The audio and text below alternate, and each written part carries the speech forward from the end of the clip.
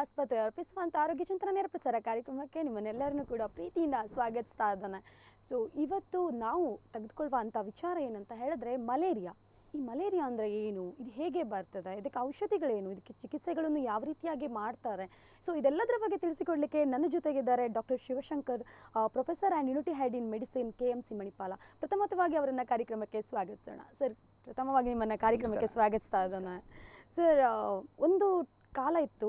ಯಾವಾಗ ನೋಡಿದ್ರು ಎಲ್ಲಿ ನೋಡಿದ್ರು ಮಲೇರಿಯಾ ಮಲೇರಿಯಾ ಮಲೇರಿಯಾ. ಯಾವ ಆಸ್ಪತ್ರೆಗಳಲ್ಲಿ ಕೇಳಿದ್ರು ಕೂಡ ಮಲೇರಿಯಾ.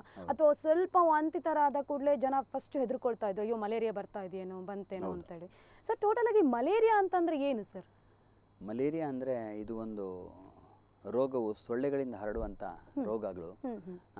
ಈ ರೋಗ ಮನುಷ್ಯನಿಗೆ ಎಷ್ಟೋ ವರ್ಷಗಳ ಶತಮಾನದಿಂದ ಬರುವಂಥ ಮನುಷ್ಯನ ಹಿಂದೆ ಬಂದಂಥ ಕಾಯಿಲೆ ಇದು. ಮನುಷ್ಯನ ಜೊತೆಗೆ ಬಂದಿದೆ. ಮನುಷ್ಯ ಸೊಳ್ಳೆ ಒಟ್ಟಿಗೆ ಜೀವನ ಮಾಡಿದಾನೆ ಸೊಳ್ಳೆಯು ಮನುಷ್ಯನೊಟ್ಟಿಗೆ ಜೀವನ ಮಾಡಿದಾನೆ. ಆ, ನಮ್ಮ ಭಾರತ ಚರಿತ್ರೆಯಲ್ಲಿ ನೋಡಿದ್ರೆ ಆಯುರ್ವೇದದಲ್ಲಿ ಹೇಳಿದ್ದಾರೆ ಸೊಳ್ಳೆಗಳು ನಮ್ಮ ಸೆಂಟಿಪೇಡಿಂದ ತುಂಬ ಡೇಂಜರಸ್ ಆದ ಒಂದು ಕ್ರಿಮಿ ಅಂತ ಹೇಳಿದ್ದಾರೆ. ಅಂದ್ರೆ ಆ ಟೈಮಲ್ಲಿ ಎಷ್ಟೋ ಸಾವಿರ ವರ್ಷಗಳ ಹಿಂದೆ ಇದನ್ನು ಹೇಳಿದ್ದಾರೆ. ಅಷ್ಟು ಡೇಂಜರಸ್ ಕ್ರಿಮಿ ಇದು. ಅದರಿಂದ ಎಷ್ಟೋ ಕಾಯಿಲೆಗಳು ಬರೋ ಚಾನ್ಸ್ ಇದೆ ಅಂತ ಹೇಳಿದ್ದಾರೆ. ಅದು ಖಂಡಿತವಾಗಿಯೂ ಸತ್ಯ. ಅದು ನಮ್ಮ ಅಥರ್ವಣ ವೇದ ಮತ್ತೆ ಚರಕ ಸಂಹಿತ ಅಂತ ಎರಡು ಜನ ಇದರಲ್ಲಿ ಬರೆದಿದ್ದಾರೆ. ಮಲೇರಿಯಾ ಅಂತ ಕಾಯಿಲೆಗಳು ಎಷ್ಟೋ ವರ್ಷದಿಂದ ಇದೆ ಜನರಿಗೆ ಬರ್ತಾ ಇದೆ ಅಂತ. ಇದು ಸೊಳ್ಳೆಗಳಿಂದ ಬರುವಂತ ಕಾಯಿಲೆ. ಇದ್ರಲ್ಲಿ ಒಂದು ಮಲೇರಿಯಾ ಸೊಳ್ಳೆಗಳಿಂದ ಬರ್ತದೆ. ಬೇರೆ ವಿಧಗಳ ಬೇರೆ ರೀತಿಯ ಕಾಯಿಲೆಗಳು ಸೊಳ್ಳೆಗಳಿಂದ ಬರುವಂತ ಚಾನ್ಸ್ಗಳಿರ್ತಾರೆ. ಡೆಂಗು ಆಗಲಿ ಫೈಲೇರಿಯಸಿಸ್ ಆಗಲಿ ಮತ್ತು ಇದು ಜಪನೀಸ್ ಎನ್ಕೆಫ್ಲೈಟಿಸ್ ಇಂಥದ್ದೆಲ್ಲ ಕಾಯಿಲೆಗಳು ಸೊಳ್ಳೆಗೆ ಬರ್ತದೆ. ಅತಿ ಮುಖ್ಯವಾದದ್ದು ಮಲೇರಿಯಾ ಹೆಚ್ಚಿನ ಜನರಿಗೆ ಇದರ ಬಗ್ಗೆ ಮಾಹಿತಿ ಮುಖ್ಯ. ಇದು ಸೊಳ್ಳೆಗಳಿಂದ ಬರುವಂತ ಕಾಯಿಲೆ. Okay okay. ಈ ಈ ಸೊಳ್ಳೆ ಅಥವಾ ಈ ನೊಣ ಅಂಥದ್ದೆಲ್ಲ ಏನಾಗಿದೆ ಅಂತಂದ್ರೆ ಮನೆಯಲ್ಲಿ ಅದು ಕೂಡ ಒಂದು ಪಾರ್ಟ್ ಆಗಿ ಹೋಗಿದೆ. ಎಷ್ಟೋ ಜನ ಅದ್ರ ಬಗ್ಗೆ ಜಾಸ್ತಿ ತಲೆ ಕೆಡಿಸ್ಕೊಳ್ಳಿಕ್ಕೆ ಹೋಗೋದಿಲ್ಲ. ಅಮ್ಮ ಸೊಳ್ಳೆ ಯಾವಾಗ ಮಲೇರಿಯಾ ಅಂತ ಶುರುವಾಯಿತು ಆವಾಗ ಜನರಿಗೆಲ್ಲೋ ಒಂದು ಕಡೆ ಹಾ ಸೊಳ್ಳೆ ಅನ್ನುವಂಥದ್ದು ತುಂಬ ನೀವು ಆವಾಗಲೇ ಹೇಳಿದ ಅದು ವೇದ ಕಾಲದಲ್ಲಿ ಅಂದರೆ ಸಂಸ್ಕೃತದಲ್ಲಿ ಹೇಳಿದ್ದಾರೆ ಅಂತ. ಬಟ್ ಜನರಿಗೆ ಅರಿವಿಗೆ ಬಂದದ್ದು ಯಾವಾಗ ಅಂತಂದ್ರೆ ಮಲೇರಿಯಾ ಅಂತ ಒಂದು ರೋಗ ಬಂದ ನಂತರ. ಸೊ ಇದರ ಚರಿತ್ರೆ ಏನಿದೆ ಸರ್ ನಾನು ಹಾಗೆ ಹೇಳ್ತಾರನೆ ಇದು ವೇದದ ಪಲ್ಲಿ ಪುರಾಣದಲ್ಲಿ ಮತ್ತೆ ಶರತ ಚರಕ ಸಂಹಿತ ಅಂತ ನಮ್ಮ ಭಾರತ ದೇಶದ ಹೆಸರಾಂತ ವೈದ್ಯರು. ಇವರು ನಮ್ಮ ವೈದ್ಯಕೀಯ ಟಿಪ್ಪಣಿಗಳಲ್ಲಿ ಬರೆದಿದ್ದಾರೆ. ಇದು ಕಾಯಿಲೆ ಸೊಳ್ಳೆಗಳಿಂದ ಬರುವಂಥದ್ದು ಹ್ಮ್. ಇದರ ಬಗ್ಗೆ ಜನರಿಗೆ ಮಾಹಿತಿ ಬೇಕು ಅಂತ ಬರೆದಿದ್ದಾರೆ. ಅದೇ ತರ ಇದರ ಚರಿತ್ರೆಯನ್ನು ಇಟಲಿ ದೇಶದಲ್ಲಿ ಗ್ರೀಸಲ್ಲಿ ಮಲೇರಿಯಾ ಅಂದ್ರೆ ಇದ್ರ ಅವರ ಭಾಷೆಯಲ್ಲಿ ಇದಕ್ಕೆ ಮಲೇರಿಯಾ ಅಂದ್ರೆ ಬ್ಯಾಡ್ ಏರ್ ಅಂತ ಹೇಳ್ತಾರೆ. ಅಂದ್ರೆ ಕೆಟ್ಟ ಗಾಳಿ ಅಂತ ಹೇಳ್ತಾರೆ. ಯಾಕೆ ಅಂತ ಹೇಳ್ತಾರೆ ಅಂದ್ರೆ ಆ ಜ ಸಮಯದಲ್ಲಿ ಜನರು ಆಲೋಚನೆ ಮಾಡಿದರು ಈ ಮಲೇರಿಯಾ ಬರೋದು ಕೆಟ್ಟ ಗಾಳಿಯಿಂದ ಈ ಗಾಳಿ ಯಾವ ಟೈಮಲ್ಲಿ ಬರ್ತದೆ? ಅಂದ್ರೆ ಈ ಗಾಳಿಯು ಹೆಚ್ಚಿನದಲ್ಲಿ ಕೃಷಿಕರು ಅಗ್ರಿಕಲ್ಚರ್ ಅಂದ್ರೆ ಪ್ಯಾಡಿ ಫೀಲ್ಡ್ ಅಲ್ಲಿ ಅಥವಾ ಯಾವಾಗ ಅವರು ಮಳೆಗಾಲದಲ್ಲಿ ಗದ್ದೆಯಲ್ಲಿ ಕೆಲಸ ಮಾಡ್ತಾರೆ ಅಥವಾ ಕಟಾವು ಟೈಮಲ್ಲಿ ಗಾಳಿಗೆ ಬರುವ ಟೈಮಲ್ಲಿ ಇಂತಹ ಮಲೇರಿಯಾ ಕಾಯಿಲೆಗಳು ಕಾಣ್ತಿತ್ತು. ಆದರೆ ಜನರು ಆಲೋಚನೆ ಮಾಡಿದ್ರು ಇದು ಹೆಚ್ಚಿನ ಅಂಶ ಕೆಟ್ಟ ಗಾಳಿ ಆ ಟೈಮಲ್ಲಿ ಬಂದ ಕಾರಣ. ಇದು ಏನೋ ಗಾಳಿಯಿಂದ ಬರ್ತಾ ಇದೆ ಅಂತ ಅದು ಇದು ಕೆಟ್ಟ ಗಾಳಿ ಅಂತ ಆಲೋಚನೆ ಮಾಡಿ ಅದಕ್ಕೆ ಮಲೇರಿಯಾ ಅಂತ ಅವ್ರಿಗೆ ಹೆಸರಿಟ್ರು. ಆದರೆ ಸಾವಿರದ ಒಂಬೈನೂರ ಎರಡರಲ್ಲಿ ರೊನಾಲ್ಡ್ ರೋಸ್ ಅಂತ ಅವರು ಇದು ಮಲೇರಿಯಾವು ಒಂದು ಸೊಳ್ಳೆಯಿಂದ ಬರ್ತದೆ. ಸೊಳ್ಳೆಯ ಬಾಯಲ್ಲಿರುವಂಥ ಜೊಲ್ಲು ರಸದಿಂದ ಇದನ್ನು ಪತ್ತೆ ಹಚ್ಚಿ ಇದು ಮಲೇರಿಯಾವು ಸೊಳ್ಳೆಗಳಿಂದ ಹರಡ್ತಾ ಹೊರತು ಗಾಳಿಯಿಂದ ಅಲ್ಲ ಅಂತ ಕಂಡುಹಿಡಿದ್ರು. ಅದಕ್ಕೆ ಅವರಿಗೆ ಪಾರ ನೋಬೆಲ್ ಪಾರಿತೋಷಕವೂ ಸಿಕ್ಕಿತ್ತು. ಸೊ ಆ ಸಮಯದಿಂದ ಜನರಿಗೆ ಹೆಚ್ಚಿನ ಜನರು ಆಲೋಚನೆ ಮಾಡಿದ್ರೆ ಹಾ ಇದು ಮಲೇರಿಯಾ ಸೊಳ್ಳೆಗಳಿಂದ ಹರಡ್ತದೆ. ಸೊ ಸೊಳ್ಳೆಗಳಿಂದಾಗಿ ಈ ಕಾಯಿಲೆ ಬರ್ತದೆ ಅಂತ ಜನರಿಗೆ ಗೊತ್ತಾಯಿತು. ಸೊ ಆದ್ರಿಂದಾಗಿ ಜನರಿಗೆ ಇದರ ಬಗ್ಗೆ ಮಾಹಿತಿ ಅತಿ ಮುಖ್ಯ. ಯಾಕಂದ್ರೆ ಯಾವ ತರ ಇದನ್ನು ಆವಿಷ್ಕಾರ ಮಾಡಿದ್ರು ಮತ್ತೆ ಅದರ ಬಗ್ಗೆ ಹೆಚ್ಚಿನ ದೇಶಗಳಲ್ಲಿ ಇದಕ್ಕೆ ಬಗ್ಗೆ ಹೇಗೆ ಇದನ್ನು ಕಂಟ್ರೋಲ್ ಮಾಡೋದು ಅಂತ ಜನರು ಟ್ರೀಟ್ಮೆಂಟ್ ಪ್ರೋಗ್ರಾಮ್ಸ್ಗೆಲ್ಲ ಮಾಡ್ಲಿಕ್ಕೆ ಶುರು ಮಾಡಿದರು. ನಾನು ಯಾಕೆ ಈ ಮಾತು ಹೇಳ್ತೇನೆ ಅಂದರೆ ಇದು ಗೊತ್ತಾದ ನಂತರ ಎಷ್ಟೋ ದೇಶಗಳು ಈಗ ನೋಡಿದರೆ ಅಮೇರಿಕ ಆಗಲಿ ಕೆನಡಾ ಆಗಲಿ ಯುರೋಪ್ ದೇಶಗಳಾಗಲಿ ಮತ್ತು ಇದರಲ್ಲಿ ರಷ್ಯಾದಲ್ಲಾಗಲಿ ಈ ದೇಶದಲ್ಲಿ ಮಲೇರಿಯಾ ಕಾಯಿಲೆ ಇಲ್ಲವೇ ಇಲ್ಲ. ಓಕೆ. ಮಲೇರಿಯಾ ಕಾಯಿಲೆ ಇಲ್ಲ. ಆದರೆ ಈಗಿನ ಕಾಲದಲ್ಲಿ ಪ್ರಪಂಚವು ಅತಿ ಚಿಕ್ಕದಾಗಿ ಹೋಗಿದೆ. ಇವತ್ತು ನಮ್ಮ ಉಡುಪಿಯಲ್ಲಿದ್ದರೆ ನಾಳೆ ಅವರು ಇನ್ನೊಂದು ದೇಶದಲ್ಲಿ ಇದ್ದಾರೆ ಇನ್ನೊಂದು ದೇಶ. ಆದ್ರಿಂದ ಕೆಲವು ಇಮಿಗ್ರೆಂಟ್ಸ್ ಅಲ್ಲಿ ಮಲೇರಿಯಾ ಬರೋ ಚಾನ್ಸ್ ಇದೆ. ಆದ್ರಿಂದ ಇಂಥ ದೇಶ ಈ ದೇಶ ನಾನು ಹೇಳಿದ ದೇಶದಲ್ಲಿ ಮಲೇರಿಯಾ ತುಂಬ ಕಡಿಮೆ ಇದೆ. ಅದೇ ಕ್ಯಾಂಗೋ ಆಗಲಿ ಮತ್ತು ನೈಜೀರಿಯಾ ಆಗಲಿ ಭಾರತ ಆಗಲಿ ಸೌತ್ ಈಸ್ಟ್ ಏಷ್ಯಾದಲ್ಲಿ ಇನ್ನೂ ಮಲೇರಿಯಾ ತುಂಬ ಜಾಸ್ತಿ ಇದೆ. ಸೊ ಆದ್ದರಿಂದ ಈ ದೇಶದಲ್ಲಿ ಇದ್ದ ಮಲೇರಿಯಾಗಳು ಬೇರೆ ದೇಶಕ್ಕೆ ಹರಡೋ ಚಾನ್ಸಸ್ ಇರುತ್ತೆ. ಅಂದ್ರೆ ನೀವು ಹೇಳೋ ಪ್ರಕಾರ ಈಗ ಮಲೇರಿಯಾ ಪ್ರಪಂಚದಾದ್ಯಂತ ಕೆಲವೊಂದು ದೇಶಗಳಲ್ಲಿ ಇದೆ ಅದು ನಮ್ಮ ವೈದ್ಯಕೀಯ ಟಿಪ್ಪಣಿ ಪ್ರಕಾರದ ನೂರ ಆರರಿಂದ ನೂರ ಏಳು ನೂರ ಏಳು ದೇಶಗಳಲ್ಲಿ ಈ ಮಲೇರಿಯಾ ಇದೆ ಅಂತ ಹೇಳ್ತಾರೆ. ನಾನು ಹಾಗೆ ಹೇಳಿದ ರೀತಿಯಲ್ಲಿ ಕೆಲವು ದೇಶದಲ್ಲಿ ಈಗ ಇಲ್ಲ. ಆದರೆ ಇನ್ನೂ ಕೆಲವು ಮಾಹಿತಿ ನಾನು ಹೇಳಲಿಕ್ಕೆ ಸಂತೋಷ ಪಡ್ತೇನೆ ಅಂದರೆ ನಮ್ಮ ಹತ್ತಿರದ ರಾಷ್ಟ್ರಗಳಾದ ಶ್ರೀಲಂಕಾ ಮತ್ತು ಮಾಲ್ಡೀವ್ಸ್ ಇತ್ತೀಚೆಗೆ ಎರಡು ಸಾವಿರದ ಹದಿನೈದು ಹದಿನಾರರಲ್ಲಿ ಮಲೇರಿಯಾ ಕಾಯಿಲೆ ನಿರ್ಮೂಲನ ಮಾಡಿದ್ದಾರೆ. ಆದ್ರಿಂದ ಮಾಲ್ಡೀವ್ಸ್. ಆದ್ರಿಂದ ನಾವು ಅದರ ಬಗ್ಗೆ ಹೆಮ್ಮೆ ಪಡ್ಕೊಂಡು ಅದನ್ನು ನಾವು ಸಹ ಏನಾದರೂ ಮಾಡ್ಬೋದು ಅಂತ ನಮ್ಮ ಈಗಿನ ಸರ್ಕಾರವು ಅದರ ಬಗ್ಗೆ ತುಂಬ ಆಸೆ ಹುಡ್ಕೊಂಡು ಆಸೆಯಿಂದಾಗಿ ಏನೋ ಮಾಡ್ಬೋದು ನಾವು ಸಹ ಮಲೇರಿಯಾನ ಕಂಪ್ಲೀಟ್ ಎಲಿಮಿನೇಷನ್ ಮಾಡ್ಬೋದು ಅಂತ ಎರಡು ಸಾವಿರದ ಮೂವತ್ತರಲ್ಲಿ ಮೊದಲು ನಾವು ಇದನ್ನು ಮಲೇರಿಯನ್ನು ನಮ್ಮ ದೇಶದಿಂದ ತೊಲಗಿಸ್ಬೇಕು ಅಂತ ಸ್ವಚ್ಛ ಭಾರತ ಮೂಲಕ ಪಣ ತೊಟ್ಟಿದ್ದೇವೆ. ಸರ್ಕಾರ ವೈದ್ಯರು ಪ್ರಜೆಗಳು ಸೇರಿ ನಾವು ಖಂಡಿತವಾಗಿ ಅದನ್ನು ಮಾಡ್ಬೋದು. ಅದರ ಬಗ್ಗೆ ಇಷ್ಟು ಚರಿತ್ರೆ ನಮಗೆ ಅತಿ ಮುಖ್ಯ. ಯಾಕಂದ್ರೆ ಎರಡು ಸಾವಿರದ ಒಂಬೈನೂರ ತೊಂಬ ಸಾವಿರದ ಒಂಬೈನೂರ ನಲವತ್ತೇಳರ ನಮಗೆ ಯಾವಾಗ ಸ್ವತಂತ್ರ ಸಿಗುವಾಗ ಮುನ್ನೂರ ಮೂವತ್ತು ಮಿಲಿಯನ್ ಜನರಿದ್ರು. ಅದರಲ್ಲಿ ಪ್ರ- ಪ್ರಾಯಶಃ ಸಾಧಾರಣ ನಾಲ್ಕರಲ್ಲಿ ಒಂದು ಭಾಗ ಜನರು ಅಂದರೆ ಎಪ್ಪತ್ತೈದು ಮಿಲಿಯನ್ ಜನರಿಗೆ ಪ್ರತಿ ವರ್ಷ ಮಲೇರಿಯಾ ಬರ್ತಾ ಇತ್ತು ಎಸ್ಪೆಷಲಿ ಪಂಜಾಬ್ ಮತ್ತು ಬೆಂಗಾಲ್ ದೇಶ ಬೆಂಗಾಲ್ ಫಾರ್ಟಿ ಸೆವೆನ್ ಅಲ್ಲಿ. ಸೆವೆನಲ್ಲಿ. ಆದರೆ ನೈನ್ ನೈನ್ಟೀನ್ ಫಿಫ್ಟಿ ತ್ರೀಯಲ್ಲಿ ಮಲೇರಿಯಾ ಇರಾಡಿಕೇಶನ್ ಪ್ರೋಗ್ರಾಮ್ ಅಂತ ಕಂಟ್ರೋಲ್ ಪ್ರೋಗ್ರಾಮ್ ಅಂತ ಮಾಡಿದರು. ಅದರಿಂದಾಗಿ ಈ ಸೆವೆಂಟಿ ಫೈವ್ ಮಿಲಿಯನ್ ಜನರಿಗೆ ಬರುವಂಥದ್ದು ನೈನ್ ನೈನ್ಟೀನ್ ಫಿಫ್ಟಿ ಏಯ್ಟಲ್ಲಿ ಇದು ಎರಡು ಮಿಲಿಯನ್ಗೆ ಕಡಿಮೆ ಬಂತು. ಅಷ್ಟು ತೊಂಬತ್ತೈದು ಮಿಲಿಯನ್ ಎಪ್ಪತ್ತೈದು ಮಿಲಿಯನಿಂದ ಎರಡು ಮಿಲಿಯನ್ಗೆ ಅಷ್ಟು ಒಳ್ಳೆ ಕಂಟ್ರೋಲ್ ಬಂದದ್ದು ದೇಶಕ್ಕೆ ತುಂಬ ಸಂತೋಷ ಕೊಡ್ತು. ಅದ ನಂತರ ಸಾವಿರದ ಒಂಬೈನೂರ ಐವತ್ತೆಂಟರಲ್ಲಿ ಮಲೇರಿಯಾ ಇರಾಡಿಕೇಶನ್ ಪ್ರೋಗ್ರಾಮ್ ಶುರು ಮಾಡಿದರು. ಆದರೆ ಸಾವಿರದ ಒಂಬೈನೂರ ಅರವತ್ತ ಒಂದು ಟೈಮಲ್ಲಿ ಇದು ಐವತ್ತು ಸಾವಿರಕ್ಕೆ ಇಳಿಯಿತು. ಅಷ್ಟು ಒಳ್ಳೆ ಕಂಟ್ರೋಲ್ ನಮ್ಮ ದೇಶದಲ್ಲಿ ಆಯಿತು. ಅದು ನಮಗೆ ಮಾಡುವಂತ ಶಕ್ತಿ ಇದೆ. ಮಾಡಬಹುದು ಅಂತ ಅದು ತೋರಿಸಿಕೊಡ್ತು. ತೋರಿಸಿ ಕೊಡ್ತಾ ಆದ್ರಿಂದಾಗಿ ಈಗಿನ ಸರ್ಕಾರ ನಾವು ಏನಾದರೂ ಮಾಡಬಹುದು ಖಂಡಿತವಾಗಿ ಅದರ ಬಗ್ಗೆ ಪ್ರಯತ್ನ ಮಾಡಿದ್ರೆ ಅದನ್ನು ನಿರ್ಮೂಲನೆ ಮಾಡಬಹುದು ಅಂತ ಪ್ರಯತ್ನ ಮಾಡ್ತಾ ಇದೆ. ಓಕೆ ಓಕೆ ಅಂದ್ರೆ ಈಗ ನೀವು ಹೇಳೋ ಪ್ರಕಾರ ಈಗ ಶ್ರೀಲಂಕಾದಲ್ಲಿ ಮತ್ತೆ ಏನು ಮಾಲ್ಡೀವ್ಸ್ ಅಲ್ಲಿ ಮಾತ್ರ ಮಲೇರಿಯಾ ಇಲ್ವಾ? ಅಥವಾ ಬೇರೆ ಕಡೆಯಲ್ಲಿ ಸಹಿತ ಇಲ್ವೇ ಇಲ್ಲ ಅನ್ನುವಂಥದ್ದು ಅದು ನಾನು ಆಗ ಹೇಳಿದಾರೆ ಕೆನಡಾ ಯು ಎಸ್ ಮತ್ತೆ ರಷ್ಯಾ ಮತ್ತೆ ಯುರೋಪ್ ಕಂಟ್ರಿಗಳಲ್ಲಿ ಈಗ ಮಲೇರಿಯಾ ಇಲ್ಲ. ಇಲ್ಲ. ಅಂದ್ರೆ ಮೊದಲು ಇತ್ತು ಅದು ನಿರ್ಮೂಲನೆ ಮಾಡಿ ನಿರ್ಮೂಲನೆ ಮಾಡಿದ್ದಾರೆ. ಮತ್ತೆ ನಾನು ಆಗ ಹೇಳ್ತಾರನೆ ಇಂಥ ದೇಶಗಳಲ್ಲಿ ಒಂದೊಂದು ಮಲೇರಿಯಾ ಬರ್ಬೋದು. ಅಂದ್ರೆ ಯಾವಾಗ ಜನ- ಜನರು ವಿದೇಶ ಪ್ರಯಾಣ ಮಾಡಿ ಬಂದಾಗ ಅವ್ರು ತಗೊಂಡು ಬರೋ ಚಾನ್ಸಸ್ ಇರ್ಬೋದು. ಅದರಿಂದ ಇದನ್ನು ಟೋಟ್ಲಿ ನಿರ್ಮೂಲನೆ ಮಾಡ್ಲಿಕ್ಕೆ ಸಾಧ್ಯ ಇಲ್ಲ. ಆದ್ರೆ ಕೆಲವು ಸರ್ತಿ ಒಂದು ದೇಶದಿಂದ ಇನ್ನೊಂದು ದೇಶಕ್ಕೆ ಹೋಗಿ ಹರಡ್ಬೋದು. ಅದನ್ನು ಪ್ರಿವೆಂಟ್ ಮಾಡೋದಂದ್ರೆ ನಾನು ಹೇಳಿದೆ ಕೀಮೋ ಪ್ರೊಫಿಲಾಕ್ಸಿಸ್ ಅಂತ ಹೇಳ್ತೇವೆ. ಅದನ್ನು ಕೊಟ್ಟು ನಿರ್ಮೂಲನೆ ಮಾಡುವಂತ ಅಥವಾ ಬೇರೆ ದೇಶಗಳಿಗೆ ಹರಡಂತಾಗೆ ನೋಡ್ಬೋದು. ನೋಡ್ಬೋದು. Okay.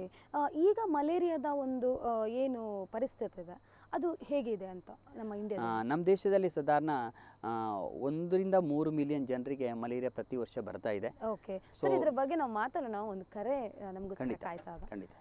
Hello? Hello? Hello madam good morning ya good morning ma'am ಯಾರು ಮಾತಾಡ್ತಾ ಇರೋದು? ಎಲ್ಲಿಂದ ಮಾತಾಡ್ತಾ ಇದ್ದೀರಿ? I am Mrs. Sandhya Naik. Okay. I'm speaking to you from Urti. Yes ma'am ನನ್ನ ಜೊತೆಗೆ ಡಾಕ್ಟರ್ ಇದ್ದಾರೆ ಮಲೇರಿಯಾದ ಬಗ್ಗೆ ನಾವು ಮಾತಾಡ್ತಾ ಇದ್ದೇವೆ ಸೊ ಮಾತಾಡಿ madam. Ya Okay, ma'am. Thank you. Doctor, very good morning. ಗುರು to you. Very good morning madam ಹೇಳಿ madam I am Mrs. Sandhya Naik from Urti. ಹೇಳಿ madam Doctor, I want to know if a mosquito bites a per- person having malaria ya and if that mosquito bites a healthy person, Hmm. are there any chances of the healthy person getting malaria? And doctor, once a person has uh, suffered from malaria, does that patient get, does that person get immunized for permanently, or are there chances of him getting uh, malaria again? Is there any immunization, doctor, for malaria? Please give me some knowledge on this. Thank yeah. you so much. I'll cut the call and hear it on the TV. Thank you, doctor. Yes Yeah. Ma'am thank call ಮಾಡಿದ್ದಕ್ಕೆ ಧನ್ಯವಾದಗಳು ನಿಮಗೆ ನಾನು ಇದರ ಬಗ್ಗೆ ಮಾಹಿತಿ ಕೊಡ್ತೇನೆ madam yes sir ಅವರು. ಪ್ರಶ್ನೆಗಳನ್ನ ಕೇಳಿದ್ರು. ಸೊ ಮುಂದಿನ ಇದರಲ್ಲಿ ಬಹುಶಃ ಅದ್ರ ಬಗ್ಗೆ ನಾವು ಮಾಹಿತಿ ಕೊಡ್ತಾ ಇದ್ವಿ ಎಸ್ ನಾವು ಮುಂದುವರಿಸೋಣ. ಈಗಿನ ಒಂದು ಪರಿಸ್ಥಿತಿಯಲ್ಲಿ ಮಲೇರಿಯಾ ಹೀಗೆ ಇದೆ ಅಂತ? ಅದೇ ಸರ್ವಸಾಮಾನ್ಯ ಒಂದರಿಂದ ಮೂರು ಎನ್- ಮೂರು ಮಿಲಿಯನ್ ಜನರಿಗೆ ವರ್ಷದಲ್ಲಿ ನಮ್ಮ ದೇಶದಲ್ಲಿ ಮಲೇರಿಯಾ ಬರ್ತಾ ಇದೆ. ಈ ಮಲೇರಿಯಾ ಬರ್ತಾ ಇರುವಂತದ್ದು ತುಂಬಾ ಕಡಿಮೆ ಪ್ರಮಾಣದಲ್ಲಿ ಅವರಿಗೆ seriousness of malaria serious malaria ಬರೋದು ಕಡಿಮೆ ಆಗಿದೆ. ಅಂಡ್ ಡೆತ್ ಸಾಯುವಂಥ ಪ್ರಮಾಣವೂ ತುಂಬಾ ಕಡಿಮೆ ಆಗಿದೆ. ಸೊ ಆದ್ರೆ ಇದು ನಮ್ಮ ದೇಶದಲ್ಲಿ ರಾಜ್ಯದಿಂದ ರಾಜ್ಯಕ್ಕೆ ವ್ಯತ್ಯಾಸ ಇದೆ. ಇದೆ ಸೊ ಕೆಲವು ರಾಷ್ಟ್ರ ರಾಜ್ಯದಲ್ಲಿ ಎಪ್ಪತ್ತು ಎಂಬತ್ತರಿಂದ ಎಪ್ ತೊಂಬತ್ತು ಪರ್ಸೆಂಟ್ ಜನ ಮಲೇರಿಯಾ ಬರೋದು ಛತ್ತೀಸ್ಗಢ. ಅಥವಾ ಜಾರ್ಖಂಡ್ ಒರಿಸ್ಸಾ. ಮೇಘಾಲಯ ಇಂಥ ಪ್ರದೇಶದಲ್ಲಿದೆ ಅದೇ ನಮ್ಮ ದಕ್ಷಿಣ ಭಾರತದಲ್ಲಿ ನೋಡಿದ್ರೆ ಸ್ವಲ್ಪ ತಮಿಳುನಾಡು ಮತ್ತು ಕೆಲವು ಸೊ ಪಾಕೆಟ್ಸ್ ಆಫ್ ಕರ್ನಾಟಕದಲ್ಲಿ ಬರ್ತಾ ಇದೆ. ಸೊ ಇಲ್ದಿದ್ರೆ ಇದು ಒಳ್ಳೆ ನಮ್ಮ ದೇಶದಲ್ಲಿ ತುಂಬಾ ಕಂಟ್ರೋಲ್ ಅಲ್ಲಿ ಬರ್ತಾ ಇದೆ.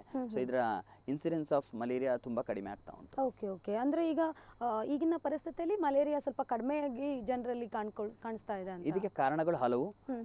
ಜನರಲ್ಲಿ ಅವೇರ್ನೆಸ್ಸು ಬಂದಿದೆ. ಸರ್ಕಾರದಲ್ಲಿ ಸರ್ಕಾರದವರು ಮಾಡುವಂತ ಒಳ್ಳೆ ಮಲೇರಿಯಾ ಕಂಟ್ರೋಲ್ ಪ್ರೋಗ್ರಾಮ್ಗಳು. ಮತ್ತು ಇದು ಹರಡುವಂತ ರೀತಿಯಲ್ಲಿ. ಈ ಸೊಳ್ಳೆಗಳಿರುವಂತ ನೀರು ನಿಲ್ಲುವಂತ ಪ್ರದೇಶಗಳನ್ನು ಇರದಾಗೆ ನೋಡ್ಕೊಳ್ಳೋದು ಕ್ಲೀನ್ನೆಸ್ ಮೇಂಟೈನ್ ಮಾಡೋದು ಇದರಿಂದ ಕೆಲವು ಸರ್ತಿ ತುಂಬಾ ಕಂಟ್ರೋಲ್ ಅನ್ನು ಮಾಡುವ ಚಾನ್ಸಸ್ ಇದೆ. ಅದರಿಂದಾಗಿ ಕಂಟ್ರೋಲ್ ಆಗೋದು ಮಲೇರಿಯಾ ಬರೋದು ತುಂಬಾ ಕಡಿಮೆ. ಕಡಿಮೆ ಆಗಿದೆ. ಎಸ್ ಎಸ್ ಸೊ ಮಲೇರಿಯಾದಲ್ಲಿ ಕೂಡ ವಿಧಗಳು ಅಂತ ಏನಾದ್ರು ಇದೆಯಾ? ಯಾಕಂತಂದ್ರೆ ಯೂಶುವಲಿ ಜ್ವರ ಬಂದಾಗ. ಓಕೆ ಮಲೇರಿಯಾ ಅಂತ. ನಮ್ಗೆ ಗೊತ್ತಿರುವಂತದ್ದು ಅಷ್ಟರ ಮಟ್ಟಿಗೆ ಮಾತ್ರ ಜ್ವರ ಬಂದಿದೆ ಮಲೇರಿಯಾ ಆಗಿದೆ. ಸೊ ಡಾಕ್ಟರ್ಸ್ನವರು ಸಹ ಮಲೇರಿಯಾ ಅಂತ ಹೇಳ್ತಾರೆ. ಬಟ್ ಈ ಮಲೇರಿಯಾದಲ್ಲೂ ಕೂಡ ಏನಾದ್ರು ಬೇರೆ ಬೇರೆ ವಿಧಗಳು ಅನ್ನೋ ಆ ರೀತಿ ಏನಾದರೂ ಇದೆಯಾ ಹೌದು ಹೌದು ಈ ಮಲೇರಿಯಾದಲ್ಲಿ ಸರ್ವಸಾಮಾನ್ಯವಾಗಿ ನಾಲ್ಕು ರೀತಿಯ ಮಲೇರಿಯಾಗಳಿದೆ. ಪ್ಲಾಸ್ಮೋಡಿಯಂ ಫ್ಯಾಲ್ಸಿಫಾರಮ್ ಅಂತ. ವೈವ್ಯಾಕ್ಸ್ ಮಲೇರಿಯಾ ಅಂತ ಒಬೈಲ್ ಓವೇಲ್ ಅಂತ ಮಲೇರಿಯಾ ಅಂತ ಇದು ನಾಲ್ಕು ರೀತಿಯ ಮಲೇರಿಯಾಗಳಿದೆ ಇತ್ತೀಚೆಗೆ. ಎರಡು ಸಾವಿರದ ಹನ್ ಹತ್ತು ಹನ್ನೊಂದು ಹನ್ನೆರಡರಲ್ಲಿ ಕೆಲವು ವಿವಿ ಹೊಸ ರೀತಿಯ ಮಲೇರಿಯಾ ಮಲೇರಿಯನ್ ಪ್ಲಾಸ್ಮೋಡಿಯಂ ನೋವಲವಸ್ಕಿ ಅಂತ ಒಂದು ಹೊಸ ಸ್ಪೀಷೀಸನ್ನು. ಮಲೇಷ್ಯಾದಲ್ಲಿ ಪತ್ತೆ ಹಚ್ಚಿದ್ದಾರೆ ಸೊ ಟೋಟಲಾಗಿ ಐದು ರೀತಿಯ ಮಲೇರಿಯಾ ಸ್ಪೀಷೀಸ್ ಇದೆ. ಇದರಲ್ಲಿ ಪ್ಲಾಸ್ಮೋಡಿಯಂ ಫ್ಯಾಲ್ಸಿಫರ್ ಮಲೇರಿಯಾ ತುಂಬ ಅಪಾಯಕಾರಿ. ಇದರಿಂದಾಗಿ ಬೇರೆ ಬೇರೆ ಅಂಗಗಳಿಗೆ ತೊಂದರೆ ಬಂದು ಜೀವ ಕಳ್ಕೊಳ್ಳೋ ಚಾನ್ಸಸ್ ಇದೆ. ವೈವ್ಯಾಕ್ಸ್ ಮತ್ತೆ ಓವೇಲ್ ಮೈಲ್ಡ್ ಆಗಿ ಮಲೇರಿಯಾ ಬರ್ತದೆ. ಮಲೇರಿಯಾ ಅದು ಆಫ್ರಿಕನ್ ಕಂಟ್ರಿಲಿ ಮಾತ್ರ ಇರೋದು. ಸೊ ನಮ್ಮ ದೇಶದಲ್ಲಿ ಅದರ ಬಗ್ಗೆ ಜಾಸ್ತಿ ಮಾಹಿತಿಗಳು ಅಂತ ಕಾಯಿಲೆಗಳು ಬಂದಿಲ್ಲ. ಈಗ ರಿಪೋರ್ಟ್ ಆಗಲಿ ಇದ್ದಿದ್ರು ಒಂದು ಅಥವಾ ಎರಡು ಕೇಸ್ಗಳು. ಮತ್ತೆ ನೋವಲೆಬಸ್ಕಿ ಈಗ ಮಲೇಷ್ಯಲ್ಲಿ ಮಾತ್ರ ಇದೆ. ಸೊ ಈ ರೀತಿ ಐದು ರೀತಿಯ ಮಲೇರಿಯಾಗಳು ಇದೆ. ಓಕೆ ಓಕೆ ಅಂದರೆ ಅದೇ ನನಗೆ ಈಗ ಆಶ್ಚರ್ಯ ಆಗ್ತಾ ಇರುವಂಥದ್ದು. ಯಾಕಂತಂದರೆ ಯೂಶ್ವಲಿ ನಾವೆಲ್ಲ ನೋಡೋ ಓಕೆ ಮಲೇರಿಯಾ ಇದೆ. ಅಥವಾ ಡೆಂಗ್ಯೂ ಇದೆ ಅಂತ ಅಷ್ಟಕ್ಕೆ ಸೀಮಿತವಾಗಿರ್ತದೆ ನಮ್ಮ ಪದಗಳು. ಆದರೆ ಮಲೇರಿಯಾದಲ್ಲೂ ಕೂಡ ಇಷ್ಟೊಂದು ವಿಧಗಳಿದೆ ಅಂತಂದರೆ. ಸೀರಿಯಸ್ಲಿ ಇದನ್ನ ನಿಜವಾಗ್ಲೂ ಈ ಕಾಯಿಲೆ ಬಗ್ಗೆ ಎಲ್ಲರೂ ಕೂಡ ಎಚ್ಚೆತ್ತುಕೊಳ್ಳುವಂತ ಸಮಯ ಇದರ ಪ್ರಮಾಣವೂ ಹಾಗೆ. ಸೊ ಮಲೇರಿಯಾ ಬಂದಾಗ ಪ್ಲಾಸ್ಮೋಡಿಯಂ ಫ್ಯಾಲ್ಸಿಫಾರಂ ಅಂಕಿಅಂಶ ಪ್ರಕಾರ ತನ್ನ ತಾನು ನಲವತ್ತರಿಂದ ಐವತ್ತು ಪರ್ಸೆಂಟ್ ಜನರಿಗೆ ಪ್ಲಾಸ್ಮೋ ಫ್ಯಾಲ್ಸಿಫಾರಂ ಮಲೇರಿಯಾ ನಮ್ಮ ದೇಶದಲ್ಲಿ ಬರ್ತದೆ. ಐವತ್ತರಿಂದ ಐವತ್ತೈದು ಪರ್ಸೆಂಟ್ ಸಾಧಾರಣ ಸರ್ವೇಸಾಮಾನ್ಯ ಸಾಮಾನ್ಯ ಪ್ಲಾಸ್ಮೋಡಿ ವೈವ್ಯಾಕ್ಸ್ ಮಲೇರಿಯಾ ಬರ್ತದೆ. ಬರ್ತಾ ಸೊ. ಹೆಚ್ಚಾಗಿ ಜನರಿಗೆ ಪ್ಲಾಸ್ಮೋಡಿ ವೈವ್ಯಾಕ್ಸ್ ಮಲೇರಿಯಾ ಬರ್ತಾ ಇದೆ. Okay okay. ಯೂಶ್ವಲಿ ಈಗ ಚಿಕ್ಕದಿರುವಾಗ ಅಥವಾ ಮಿಡ್ಲಲ್ಲಿ ಕ್ಲಾಸಲ್ಲಿ ಎಲ್ಲ ನಾವು ಓದುವಾಗ ನಾವು ಓದ್ತಾ ಇರ್ತವೆ. ಅನಾಫಿಲಿಸ್ ಅನ್ನುವಂಥ ಹೆಣ್ಣು ಸೊಳ್ಳೆಯಿಂದ ಅದು ಹಾ, ಬೈಟ್ ಬರ್ತಾ ಇದೆ, ಮಾಡಿದ್ರೆ correct. ಮಲೇರಿಯಾ ಬರ್ತದೆ ಹಾಗೆ ಹೀಗೆ ಅಂತ. ಸೊ ಈ ಮಲೇರಿಯಾ ಹರಡುವಂಥದ್ದು ಏನು ಹೇಗೆ ಹರಡ್ತದೆ ಅಂತ? ಆ, ಮಲೇರಿಯಾ ನಾನು ಆಗ ಹೇಳಿದಾಗ ಇದು ಸೊಳ್ಳೆಯಿಂದ ಮನುಷ್ಯನಿಗೆ ಬರುವಂತ ಕಾಯಿಲೆ. ಓಕೆ. ಸೊಳ್ಳೆ ಚುಚ್ಚಿ ಬರುವಂತ ಕಾಯಿಲೆ. ಆಗ ಮೇಡಮ್ ಕೇಳಿದ್ರು. ಸೊ ಹೌದು. ಅದರ ಬಗ್ಗೆ ಈಗ ನಾನು ಒಂದು ಉತ್ತರ ಕೊಡ್ತಾ ಎಸ್ ಇದ್ದೀನಿ. ಸಂಧ್ಯಾ So, ಮೇಡಮ್ ಅದನ್ನೇ ಪ್ರಶ್ನೆಯನ್ನ ಕೇಳಿದ್ರು ಈ ಆವಾಗ. ಸೊಳ್ಳೆಗಳು ಯಾವ ಸೊಳ್ಳೆಯಲ್ಲಿ ಈ ಸ್ಪೋರೋಸಾಯ್ಡ್ಸ್ ಆಫ್ ಪ್ಲಾಸ್ಮೋಡಿಯಂ ಫ್ಯಾಲ್ಸಿಫರ್ಮ್ ಆಗಲಿ ವೈವ್ಯಾಕ್ಸ್ ಆಗಲಿ ಓವೆಲ್ ಆಗಲಿ ಮಲೇರಿಯಾ ಆಗಲಿ ನೋವಲವೆಸ್ಕೆ ಆಗಲಿ ಇದ್ದರೆ ಅದು ಈ ಹೆಣ್ಣು ಅನಾಫಿಲಿಸ್ ಮಸ್ಕಿಟೋ ಕಚ್ಚಿದಾಗ ಮನುಷ್ಯನಿಗೆ ರಕ್ತ ಹೀರ್ಲಿಕ್ಕೆ ಕಚ್ಚಿದಾವೆ ಅವುಗಳ ರಕ್ತ ಅವುಗಳು ರಕ್ತ ಮನುಷ್ಯನ ಕಚ್ಚಿ ರಕ್ತ ಹೀರುವಾಗ. ಈ ಸ್ಪೋರೋಸಾಯ್ಡ್ಸನ್ನು ಮನುಷ್ಯನ ರಕ್ತದ ಒಳಗಡೆ ಸರ್ಕ್ಯುಲೇಷನ್ಗೆ ಅವುಗಳು ಬಿಡ್ತವೆ. ಆ ತರ ಥರ ಬಿಟ್ಟಾಗ ಬಿಡ್ತಾ ಬಿಟ್ಟಾಗ ಅವುಗಳು ದೇಹದಲ್ಲಿ ರಕ್ತ ಸಂಚಲನೆ ಮೂಲಕ ಹೋಗಿ ಲಿವರಿಗೆ ಹೋಗ್ತವೆ. ಲಿವರಿಗೆ ಹೋಗಿ ಅಲ್ಲಿ ಬೆಳವಣಿಗೆ ಆಗಿ ಲಿವರಿಂದ ಅವುಗಳು ನಮ್ಮ ದೇಹಕ್ಕೆ ಒಂದ್ಸಗೆ ಏನ್ ಬರ್ತದೆ? ಬ್ಲಡ್ ಸರ್ಕ್ಯುಲೇಷನ್ ಬಂದು ಆರ್ ಬಿ ಸಿ ಅಂತ ಕೆಂಪು ರಕ್ತಕಣಗಳಿಗೆ ಎಫೆಕ್ಟ್ ಆಗಿ ಹ್ಮ್, ಅಲ್ಲಿಂದ ಅವುಗಳು ದೇಹದಲ್ಲಿ ಚಲ ಚಲ ಚಲಾವಣೆಯಲ್ಲಿ ಇರ್ತವೆ. ಮತ್ತೆ ಇನ್ನೊಂದು ಮಸ್ಕ್ಯೂಟು ಅದೇ ಮಸ್ಕ್ಯೂಟ್ ಅಂತ ಹೇಳಿಕ್ ಸಾಧ್ಯ ಇಲ್ಲ. ಯಾಕಂದ್ರೆ ಪ್ರತಿಯೊಂದು ಮಸ್ಕ್ಯೂಟಿಗಳ. ಆಯುಷ್ಯವು ಏಳರಿಂದ ಹತ್ತು ದಿನ. ಸೊ ಅದು ಬದುಕಲೂಬಹುದು ಬದುಕದೆ ಇರಲೂಬಹುದು. ಸೊ ಕೈಗೆ ಸಿಕ್ಕಿದ್ರೆ ನಾವು. ಹೇಳಲಿಕ್ಕಾಗಲ್ಲ. ಸೊ. ಆದ್ರಿಂದ ಇನ್ನೊಂದು ಮಸ್ಕಿಟೋ ಆ ಮನುಷ್ಯನಿಗೆ ಬೈಟ್ ಮಾಡುವಾಗ ದೇಹದಲ್ಲಿ ರಕ್ತದಲ್ಲಿ ಇದು ಸಲ ಚಲಾವಣೆಯಲ್ಲಿ ಇರ್ತವೆ. ಅಂದ್ರೆ ಅದರದ್ದು ಅದರದ ವಂಶ ಅಭಿವೃದ್ಧಿ ಮಾಡುವಂತ ಗೆಮಟೋಸೈಡ್ಸ್ ಹೇಳ್ತೇವೆ. ಮೇಲ್ ಅಂಡ್ ಫಿಮೇಲ್ಗಳು ಗೆಮಲ್ ಗೆಮಟೋಸೈಡ್ಸ್ ಹ್ಮ್, ಅದನ್ನು ಅವುಗಳು ಹೀರ್ತವೆ. ಅವುಗಳು ರಕ್ತ ಇರುವಾಗ ಇದು ಅದರೊಟ್ಟಿಗೆ ಬರ್ತದೆ. ಸೊ ಅದರಲ್ಲಿ sexual reproduction of plasmodium vivax ovale or falciparum falciparum or malaria or knowlesi ಅದು ಸೆಕ್ಷುವಲ್ ಪ್ರೊಡಕ್ಷನ್ ಮಲೇರಿಯಾ ಇದು ಸೊಳ್ಳೆ ಜೀವದಲ್ಲಿ ಆಗುತ್ತೆ. ಆದ ನಂತರ ಒನ್ಸ್ ಅಗೇನ್ ಸ್ಪೋರೋಸೈಟ್ಸ್ ಆಗಿ ಅವುಗಳ ಜೊಲ್ಲುಗಳಿಗೆ ಬರ್ತದೆ. ಸೊ ಇದು ಸೊಳ್ಳೆಯಿಂದ ಮನುಷ್ಯನಿಗೆ ಕಚ್ಚಿದ ನಂತರ ಮನುಷ್ಯನಿಂದ ಸೊಳ್ಳೆಯಲ್ಲಿ ಈ ರೀತಿ ಹರಡ್ತದೆ. ಸೊ ಸೊಳ್ಳೆಗಳಿಂದ ಹರಡುವಂಥದ್ದು ಕಾಯಿಲೆ ಇದು. ಆದರೆ. ಕೆಲವು ಸಲ ಇದು ಬ್ಲಡ್ ಟ್ರಾನ್ಸ್ಫ್ಯೂಷನಿಂದ ಬರ್ಬೋದು. ಮನುಷ್ಯನಿಗೆ ಬ್ಲಡ್ ಮನುಷ್ಯನಿಗೆ ಬ್ಲಡ್ಡನ್ನು ಕರೆಕ್ಟಾಗಿ ಕ್ಲೀನ್ ಮಾಡದಿದ್ದ ಬ್ಲಡ್ ಬ್ಯಾಂಕಲ್ಲಿ ಬರೋ ಚಾನ್ಸ್ ಇರುತ್ತೆ. ಅಥವಾ ತಾಯಿಯಿಂದ ಮಗು ಬರೋ ಚಾನ್ಸ್ ಇರುತ್ತೆ. ಟ್ರಾನ್ಸ್ಪ್ಲಾಂಟ್ ಆಗಿ ಬರುವಂಥ ಆರ್ಗನ್ ಇನ್ನೊಂದು ಅಂಗ ಕೊಟ್ಟಾಗ ಬರುವಂಥ ಚಾನ್ಸ್ ಇದೆಲ್ಲ ನಮ್ಮ ವೈದ್ಯಕೀಯ ಟಿಪ್ಪಣಿಯಲ್ಲಿ ಇರ್ತವೆ ಬುಕ್ಸ್ಗಳಿರುತ್ತದೆ but is very very rare but ninety nine point nine nine nine even hundred percent ಶೇಕಡ ಹೇಳ್ಬೋದು ಇದು ಸೊಳ್ಳೆ ಕಚ್ಚಿ ಬರುವಂಥ ಕಾಯಿಲೆ. ಓಕೆ. ಅಂದ್ರೆ ಈಗ ಅದನ್ನ ಬಿಟ್ರೆ ಬೇರೆ ಯಾವ ರೀತಿಯಲ್ಲೂ ಇದು ಹರಡುವಂತದ್ದು ತುಂಬಾ ನಾನು ಆಗ ಹೇಳ್ತಾನೆ? ತುಂಬ ಕಡಿಮೆ. ತುಂಬಾ ಕಡಿಮೆ ರೀತಿಯಲ್ಲಿ ಹರಡ್ತದೆ. ಅಂದ್ರೆ. ಸೊಳ್ಳೆಗಳಿಂದ ಹೋಗುತ್ತೆ. ಓಕೆ ಸರ್ ನಾವು ಇದ್ರ ಬಗ್ಗೆ ಇನ್ನಷ್ಟು ಮಾತಾಡೋಣ. ಕಾರ್ಯಕ್ರಮದಲ್ಲಿ ಒಂದು ಪುಟ್ಟ ವಿರಾಮವನ್ನು ತಗೊಳ್ಳುವಂಥ ಸಮಯ ಆಗಿದೆ. ಎಸ್ ಮಲೇರಿಯಾದ ಬಗ್ಗೆ ಇನ್ನಷ್ಟು ಮಾತುಗಳಿವೆ. ಅದನ್ನು ಮಾತಾಡ್ತವೆ. ಅದರ ಒಂದು ಪುಟ್ಟ ವಿರಾಮದ ನಂತರ.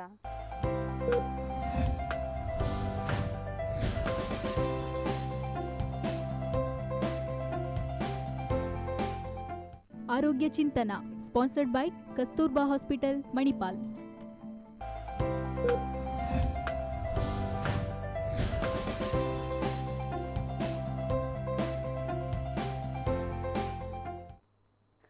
ಒಂದು ಪುಟ್ಟ ವಿರಾಮದ ನಂತರ ಮತ್ತೊಮ್ಮೆ ಕಸ್ತೂರಬಾ ಆಸ್ಪತ್ರೆ ಅರ್ಪಿಸುವಂತಹ ಆರೋಗ್ಯ ಚಿಂತನ ನೇರ ಪ್ರಸಾರ ಕಾರ್ಯಕ್ರಮಕ್ಕೆ ನಿಮ್ಮನ್ನೆಲ್ಲರನ್ನು ಕೂಡ ಮತ್ತೊಮ್ಮೆ ಸ್ವಾಗತಿಸ್ತಾ ಇದ್ದಾನೆ. ಸೊ ಮಲೇರಿಯಾದ ಕಾಯಿಲೆಯ ಬಗ್ಗೆ ನಿಮ್ಮಲ್ಲೂ ಕೂಡ ಏನಾದರೂ ಅನುಮಾನಗಳಿದ್ದರೆ ನೀವು ನಿಮ್ಮ ಒಂದು ಸ್ಕ್ರೀನ್ನ ಮೇಲೆ ಡಿಸ್ಪ್ಲೇ ಆಗುವಂಥ ನಂಬರ್ಗೆ ಕರೆ ಮಾಡಿ. ಡಾಕ್ಟರ್ ನಮ್ಮ ಜೊತೆಗಿದ್ದಾರೆ. ಅವ್ರ ಜೊತೆಗೆ ಮಾತಾಡ್ಬೋದು ಅಂತ ಹೇಳ್ತಾ ಮಲೇರಿಯಾದ ಬಗ್ಗೆ ಇನ್ನಷ್ಟು ಪ್ರಶ್ನೆಗಳು ನನ್ನಲ್ಲೂ ಕೂಡ ಇದೆ. ಬನ್ನಿ ಡಾಕ್ಟರ್ ಜೊತೆಗೆ ಮಾತಾಡೋಣ. ಸರ್ ನಾವು. ವಿರಾಮಕ್ಕೆ ಹೋಗೋ ಮೊದಲು ಮಾತಾಡ್ತಾ ಇದ್ವಿ. ಯಾವ ರೀತಿಯಾಗಿದ್ದು ಹರಡ್ತದೆ ಅಂತ. ನೀವು ಅವಾಗ ಹೇಳಿದ್ರೆ ಸೊಳ್ಳೆಗಳಿಂದ ಹರಡ್ತದೆ ಅಂತ. ಈ ಸೊಳ್ಳೆಗಳ ಒಂದು ಬೆಳವಣಿಗೆ ಆಗಿರ್ಬೋದು ಅಥವಾ ಸೊಳ್ಳೆಗಳ ಒಂದು ಮೂಲ ಅದು ಎಲ್ಲಿರ್ತದೆ ಸರ್? ಆ, ಈ- ಮಲೇರಿಯಾ ಹರಡುವಂಥ ಇದು ಅನಾಫ್ಲಿಸ್ ಮಸ್ಕಿಟೋಗಳು. ಅವುಗಳು ಹೆಚ್ಚಿನ ಸಮಯದಲ್ಲಿ ಅವುಗಳು ಜೀವನ ಮಾಡೋದು ನೀರಲ್ಲಿ. ಎಲ್ಲೆಲ್ಲಿ ನೀರು ನಿಲ್ತದೆ. ನಾನು ಆಗ ಹೇಳ್ತಾರೆ ಅದು ಮಳೆಗಾಲದಲ್ಲಿ ಅಥವಾ ಕಟಾವು ಟೈಮಲ್ಲಿ ಎಲ್ಲಿ ನೀರೆಲ್ಲ ನಿಲ್ತದೆ ಆ ಟೈಮಲ್ಲಿ ಅವುಗಳು ಅದರಲ್ಲಿ ಜೀವನ ಮಾಡ್ತವೆ. ಅದು ಯಾಕೆ ಹೇಳಿದ್ರೆ ಅಂದರೆ ನಿರ್ಮೂಲ ಮಾಡುವಾಗಲೂ ನಾವು ಅದನ್ನು ನೋಡ್ಕೋಬೇಕಾಗತ್ತೆ. ಎಲ್ಲಿದೆ yes. ಎಲ್ಲಿ ಇದೆ ಅದನ್ನು ನಿರ್ಮೂಲ ಮಾಡಬೇಕಾಗತ್ತೆ. ಸೊ ಪ್ಲಾಸ್ಟಿಕ್ ಡಬ್ಬಗಳು ನಮ್ಮ ಮನೆಯಲ್ಲಿರುವಂಥ ಡೆಕೋರೇಟಿಂಗ್ ಪ್ಲಾಟ್ಸ್ಗಳಲ್ಲಿ ನಾವು ಪ್ಲ್ಯಾಂಟ್ಸ್ಗಳು ಹಾಕಿರ್ತೇವೆ. ನೀರು ನಿಂತಿರ್ತ ಕೊಳಚೆ ಅಥವಾ ನೀರು ನಿಂತಂಥ ಸ್ಥಳದಲ್ಲಿ ಅವುಗಳು ಬೆಳೆಯುತ್ತೆ ಬೆಳೀತವೆ. ಮತ್ತು ಇನ್ನೊಂದು ಹೇಳಬೇಕಂದ್ರೆ ನಮ್ಮ ಸಮುದ್ರ ಮಟ್ಟದಿಂದ ಒಂದೂವರೆ ಸಾವಿರ ಮೀಟರ್ ಮೇಲೆ ಅವುಗಳು ಜೀವನ ಮಾಡೋದಿಲ್ಲ. ಅದೇ ತರ ಹದಿನಾರು ಹದಿನೇಳು ಡಿಗ್ರಿ ಸೆಂಟಿಗ್ರೇಡ್ ಕಡಿಮೆನಲ್ಲಿಯೂ ಅವುಗಳು ಜೀವನ ಮಾಡೋದಿಲ್ಲ ನಾನು ಯಾಕೆ ಹೇಳ್ತೇನೆ ಅಂದರೆ ಕಾಶ್ಮೀರ ನೋಡಿ. ಅಥವಾ ಬೆಟ್ಟಗುಡ್ಡ ಪ್ರದೇಶದಲ್ಲಿ ಈ ಮಲೇರಿಯಾ ಕಾಯಿಲೆ ಇಲ್ಲ. ಅದೇ ಥರ ಅತಿ ಕಡಿಮೆ ಟೆಂಪರೇಚರ್ ಇದ್ದ ಪ್ರಸ್ತರದಲ್ಲಿಯೂ ಇಲ್ಲ. ಸೊ ಅದರಿಂದ ಆ ಪರಿಸ್ಥಿತಿಯಲ್ಲಿ ಅವುಗಳು ಜೀವನ ಮಾಡ್ಲಿಕ್ಕೆ ಸಾಧ್ಯ ಇಲ್ಲ. ಸೊ ಮಳೆಗಾಲದಲ್ಲಿ ಅವುಗಳು ಇರ್ತವೆ. ಅದೇ ವಿಂಟರ್ ಸೀಸನ್ ಸೀಸನಲ್ಲಿಯೂ ಸಹ ಚಳಿಗಾಲದಲ್ಲಿ ಅವುಗಳು ಮಲೇರಿಯಾ ಬರೋದು ಸ್ವಲ್ಪ ಕಡಿಮೆ. ಕಡಿಮೆ. ಸೊ ಆದರೆ ಈಗ ನಾನು ಆಗ ಹೇಳ್ತಾರನೆ ಜನರು ಒಂದು ಸ್ಥಳದಿಂದ ಇನ್ನೊಂದು ಸ್ಥಳ ಮೂವ್ಮೆಂಟ್ ಇದ್ದ ಕಾರಣ ಇದುಗಳು ನಾವು ಬೇರೆ ರೀತಿಯಲ್ಲಿ ಇವುಗಳು ಹರಡ್ಬೋದು ಬೇರೆ ರೀತಿಯಲ್ಲಿ ಜೀವನ ಮಾಡಿ ಬರ್ಬೋದು. ಆದರೆ ಹೆಚ್ಚಿನ ಸಮಯದಲ್ಲಿ ನಾವು ಅವುಗಳ ಬೆಳವಣಿಗೆ ನೋಡಿದ್ರೆ ಅವುಗಳು ಮಳೆಗಾಲದಲ್ಲಿ ಇರೋದು ಜಾಸ್ತಿ. ಮತ್ತು ಅವುಗಳು ಮನುಷ್ಯನ ಜೊತೆಗೆ ಜೀವನ ಮಾಡ್ತವೆ. ಸೊ ಈ ಮಲೇರಿಯಾ ಈ ಮಸ್ಕಿಟೋಗಳು ಕಚ್ಚೋದು ಅಷ್ಟೇ. ಅನಾಫ್ಲಿಸ್ ಮಸ್ಕಿಟೋ ಕಚ್ಚೋದು ರಾತ್ರಿ ಟೈಮ್ ರಾತ್ರಿ ಸಾಧಾರಣ ಆರು ಬೆಳಿಗ್ಗೆ ಸಂಜೆ ಆರು ಗಂಟೆಯಿಂದ ಬೆಳಿಗ್ಗೆ ಆರು ಗಂಟೆ ರಾತ್ರಿ ಟೈಮಲ್ಲಿ ಮನುಷ್ಯರೊಟ್ಟಿಗೆ ಅವುಗಳು ಕಚ್ಚುತ್ತವೆ ಮನುಷ್ಯರಿಗೆ ಕಚ್ಚುತ್ತವೆ ಹ್ಮ್ ಹ್ಮ್ ಹ್ಮ್. ಸೊ ಇದು ಅದರ ಬಗ್ಗೆ ನಾವು ಮಾಹಿತಿ ಅತಿ ಮುಖ್ಯ ಬೇಕಾಗುತ್ತೆ. ಖಂಡಿತ. ಅದು ಸಹ ಈಗ ಮಳೆಗಾಲ ಬೇರೆ. ಸೊ ಮಳೆಗಾಲದ ಈ ಸಂದರ್ಭದಲ್ಲಿ ಮನೆಯ ಸುತ್ತಮುತ್ತ ಇರುವಂತಹ ಪಾಟ್ಗಳಾಗಿರ್ಬೋದು ಅಥವಾ ಎಳ್ನೀರಿನ ಒಂದು. ಇದಾಗಿರ್ಬೋದು. ಅದು ಎಲ್ಲದರಲ್ಲೂ ಸಹಿತ ಸ್ವಲ್ಪ ಜಾಗ್ರತೆ ವಹಿಸಬೇಕು. ಅಲ್ಲೆಲ್ಲೂ ಕೂಡ ನೀರು ನಿಲ್ಲದೆ ಇರುವ ರೀತಿಯಲ್ಲಿ ಅಥವಾ ಹಳೆಯ ಸಿಂಟೆಕ್ಸ್ ಆಗಿರ್ಬೋದು. ಅಲ್ಲಿ ನಾವು ಕೆಲವೊಂದ್ಸಲ ಡಬ್ಬಗಳು ಶೇಖರಣೆ ಆಗಿ ಬಿಟ್ಟಿರ್ತದೆ. ಬಿಸಿಲೇರಿ ಬಾಟ್ಲ್ಗಳು ನಾವು ಎಷ್ಟೋ ಸಲ ಬಿಸಾಡ್ತೇವೆ ಬಿಸಾಡೋ ಮೊದಲು ನಾವು ಆಲೋಚನೆ ಮಾಡಬೇಕು. ಬಿಸಾಡಿ ಎರಡು ಮೂರು ದಿನ ನಂತರ ಅದ್ರಲ್ಲಿ ಸ್ವಲ್ಪ ನೀರು ನಿಂತಿರ್ತದೆ ಅದರಲ್ಲಿ ಅವುಗಳು ಬೆಳವಣಿಗೆ ಬೆಳವಣಿಗೆ ಆಗ್ತದೆ. ಅದರಿಂದಾಗಿ ನಮಗೆ ಈ ಸೋಂಕು ತಲ ತಗುಲ್ತದೆ. ಹೌದು ಖಂಡಿತ. ಸೊ ಮನೆಯ ಸುತ್ತಮುತ್ತ ಇರುವಂತಹ ಅಂತಹ ಒಂದು ಡಬ್ಬಗಳಿದ್ರೆ ಅದನ್ನ ಕೌಚಿ ಹಾಕುವಂತ ಒಂದು ವ್ಯವಸ್ಥೆಯನ್ನ ಮಾಡುವುದು ಸಹ ಉತ್ತಮ ಅಂತ Correct, ಅನ್ಕೊಳ್ತೇನೆ ನಾನು. ಎಸ್ ಇದನ್ನ ಈ ಮಳೆಗಾಲ ಸಂದರ್ಭದಲ್ಲಿ ಇದು ತುಂಬಾ ಜಾಗ್ರತೆ ವಹಿಸಬೇಕಾಗಿರುತ್ತೆ. ಯಾಕಂದ್ರೆ ಮಲೇರಿಯಾ ಮಳೆಗಾಲದಲ್ಲಿ ಜಾಸ್ತಿಯಾಗಿ ಹರಡ್ತಾನೆ ಅನ್ವ- ಅಂತಾರೆ ಡಾಕ್ಟ್ರು. ಎಸ್ ಸರ್ ನಾವು ಈಗ ನೀವು ಹೇಳಿದ್ರಿ ಕರ್ನಾಟಕದಲ್ಲೂ ಕೂಡ ಇದೆ. ಆದರೆ ಇನ್ನೂ ಕೆಲವೊಂದು ಪ್ರದೇಶಗಳನ್ನು ನೋಡ್ಲಿಕ್ಕೆ ಹೋದ್ರೆ ನಮ್ಮ ದೇಶದಲ್ಲಿ ಈಗ ಒರಿಸ್ಸಾ ಆಗಿರ್ಬೋದು ಅಂತ ಪ್ರದೇಶಗಳಲ್ಲಿ ಇನ್ನೂ ಜಾಸ್ತಿ ಇದೆ ಅಥವಾ ಈಗ ಅದು ಇನ್ನೂ ಕೂಡ ಇದೆ ಅನ್ನುವಂಥದ್ದು ಹೇಳಿದ್ರಿ. ಸೊ ಯಾಕೋಸ್ಕರ ಅಂತ ಪ್ಲೇ ಪ್ರದೇಶಗಳಲ್ಲಿ ಇದೆ? ಯಾಕಂದ್ರೆ ಈಗಾಗಲೇ ಸ್ವಚ್ಛ ಭಾರತ ಆಂದೋಲನ ಎಲ್ಲ ಕಡೆ ಕೂಡ ಹರಡ್ತಾ ಉಂಟು. ಸ್ಟಿಲ್ ಅಲ್ಲೆಲ್ಲ ಇದೆ ಅಂತಂದ್ರೆ ಯಾವ ಕಾರಣದಿಂದ ಅಂದರೆ? ಇದಕ್ಕೆ ರಿಸ್ಕ್ ಫ್ಯಾಕ್ಟರ್ಸ್ ತುಂಬ ಇದೆ. ಒಂದು ಜನರಿಗೆ ಅದರ ಬಗ್ಗೆ ಮಾಹಿತಿ ಇಲ್ಲ. ಸೊ ಜನರು ಸೊಳ್ಳೆಗಳ ಜೊತೆಗೆ ಜೀವನ ಮಾಡ್ತಾರೆ. ನಾನು ಆಗ ಹೇಳ್ತಾರನೆ ಈ ಸಿಯಾಳದ ಎಂ ಟಿ ಶೆಲ್ ಆಗಿರ್ಬೋದು ಪ್ಲಾಸ್ಟಿಕ್ಗಳ ಡಬ್ಬಗಳಾಗಿರ್ಬೋದು ಮತ್ತು ಜನಸಾಂದ್ರತೆ just over crowding slum area. ಇಂಥದ್ದೆಲ್ಲ ಹೈ ರಿಸ್ಕ್ ಇರ್ತಾರೆ. ಆದರೂ ಅವರಿಗೆ ಬರುವಂಥ ಚಾನ್ಸಸ್ ಜಾಸ್ತಿ ಇರುತ್ತೆ. ಮತ್ತು ಸೊಳ್ಳೆಗಳ ಬೆಳವಣಿಗೆಗೆ ಬೇಕಾದಂಥ ಅನುಕೂಲವಾದ ವಾತಾವರಣವೂ ಅಲ್ಲಿ ಇದೆ. ಸೊ ಅದರಿಂದ ಅವುಗಳು ಅಲ್ಲಿ ಜಾಸ್ತಿ ಇದೆ. So awareness is very important awareness ಇಲ್ಲದ ಕಾರಣ ಅಲ್ಲಿ ಜಾಸ್ತಿ ಮಲೇರಿಯಾ ಇದೆ. ಅದೇ ನಾನು ಆಗ ಹೇಳ್ತೇನೆ ಛತ್ತೀಸ್ಗಢ ಒರಿಸ್ಸಾ ವೆಸ್ಟ್ ಬೆಂಗಾಲ್ ಜಾರ್ಖಂಡ್ ಸೊ ಕೆಲವು ತಮಿಳ್ನಾಡಲ್ಲಿ ಕೆಲವು ಪ್ರದೇಶದಲ್ಲಿ ಇವುಗಳು ಇದ್ದ ಕಾರಣ. ಸೊ ಅದ್ರ ಬಗ್ಗೆ ಮಾಹಿತಿ ತಕೊಂಡ್ರೆ ಖಂಡಿತವಾಗಿ ಅದರ ಬಗ್ಗೆ ಕಂಟ್ರೋಲ್ ಮಾಡ್ಬೋದು. ಓಕೆ ಈ ಅಂದ್ರೆ ಕೆಲವೊಂದು ಈ ಇಸ್ಲಾಂ ಏರಿಯಾಗಳಲ್ಲಿ ನಿಂತ ನೀರಿರುವಂತದ್ದು ಅದು ಸ್ವಲ್ಪ ಇನ್ನು ಜಾಸ್ತಿಯಾಗಿ ಆ ಒಂದು ದೇಶಕ್ಕೆ ಬರಲಿಕ್ಕೆ ಸಾಧ್ಯತೆ.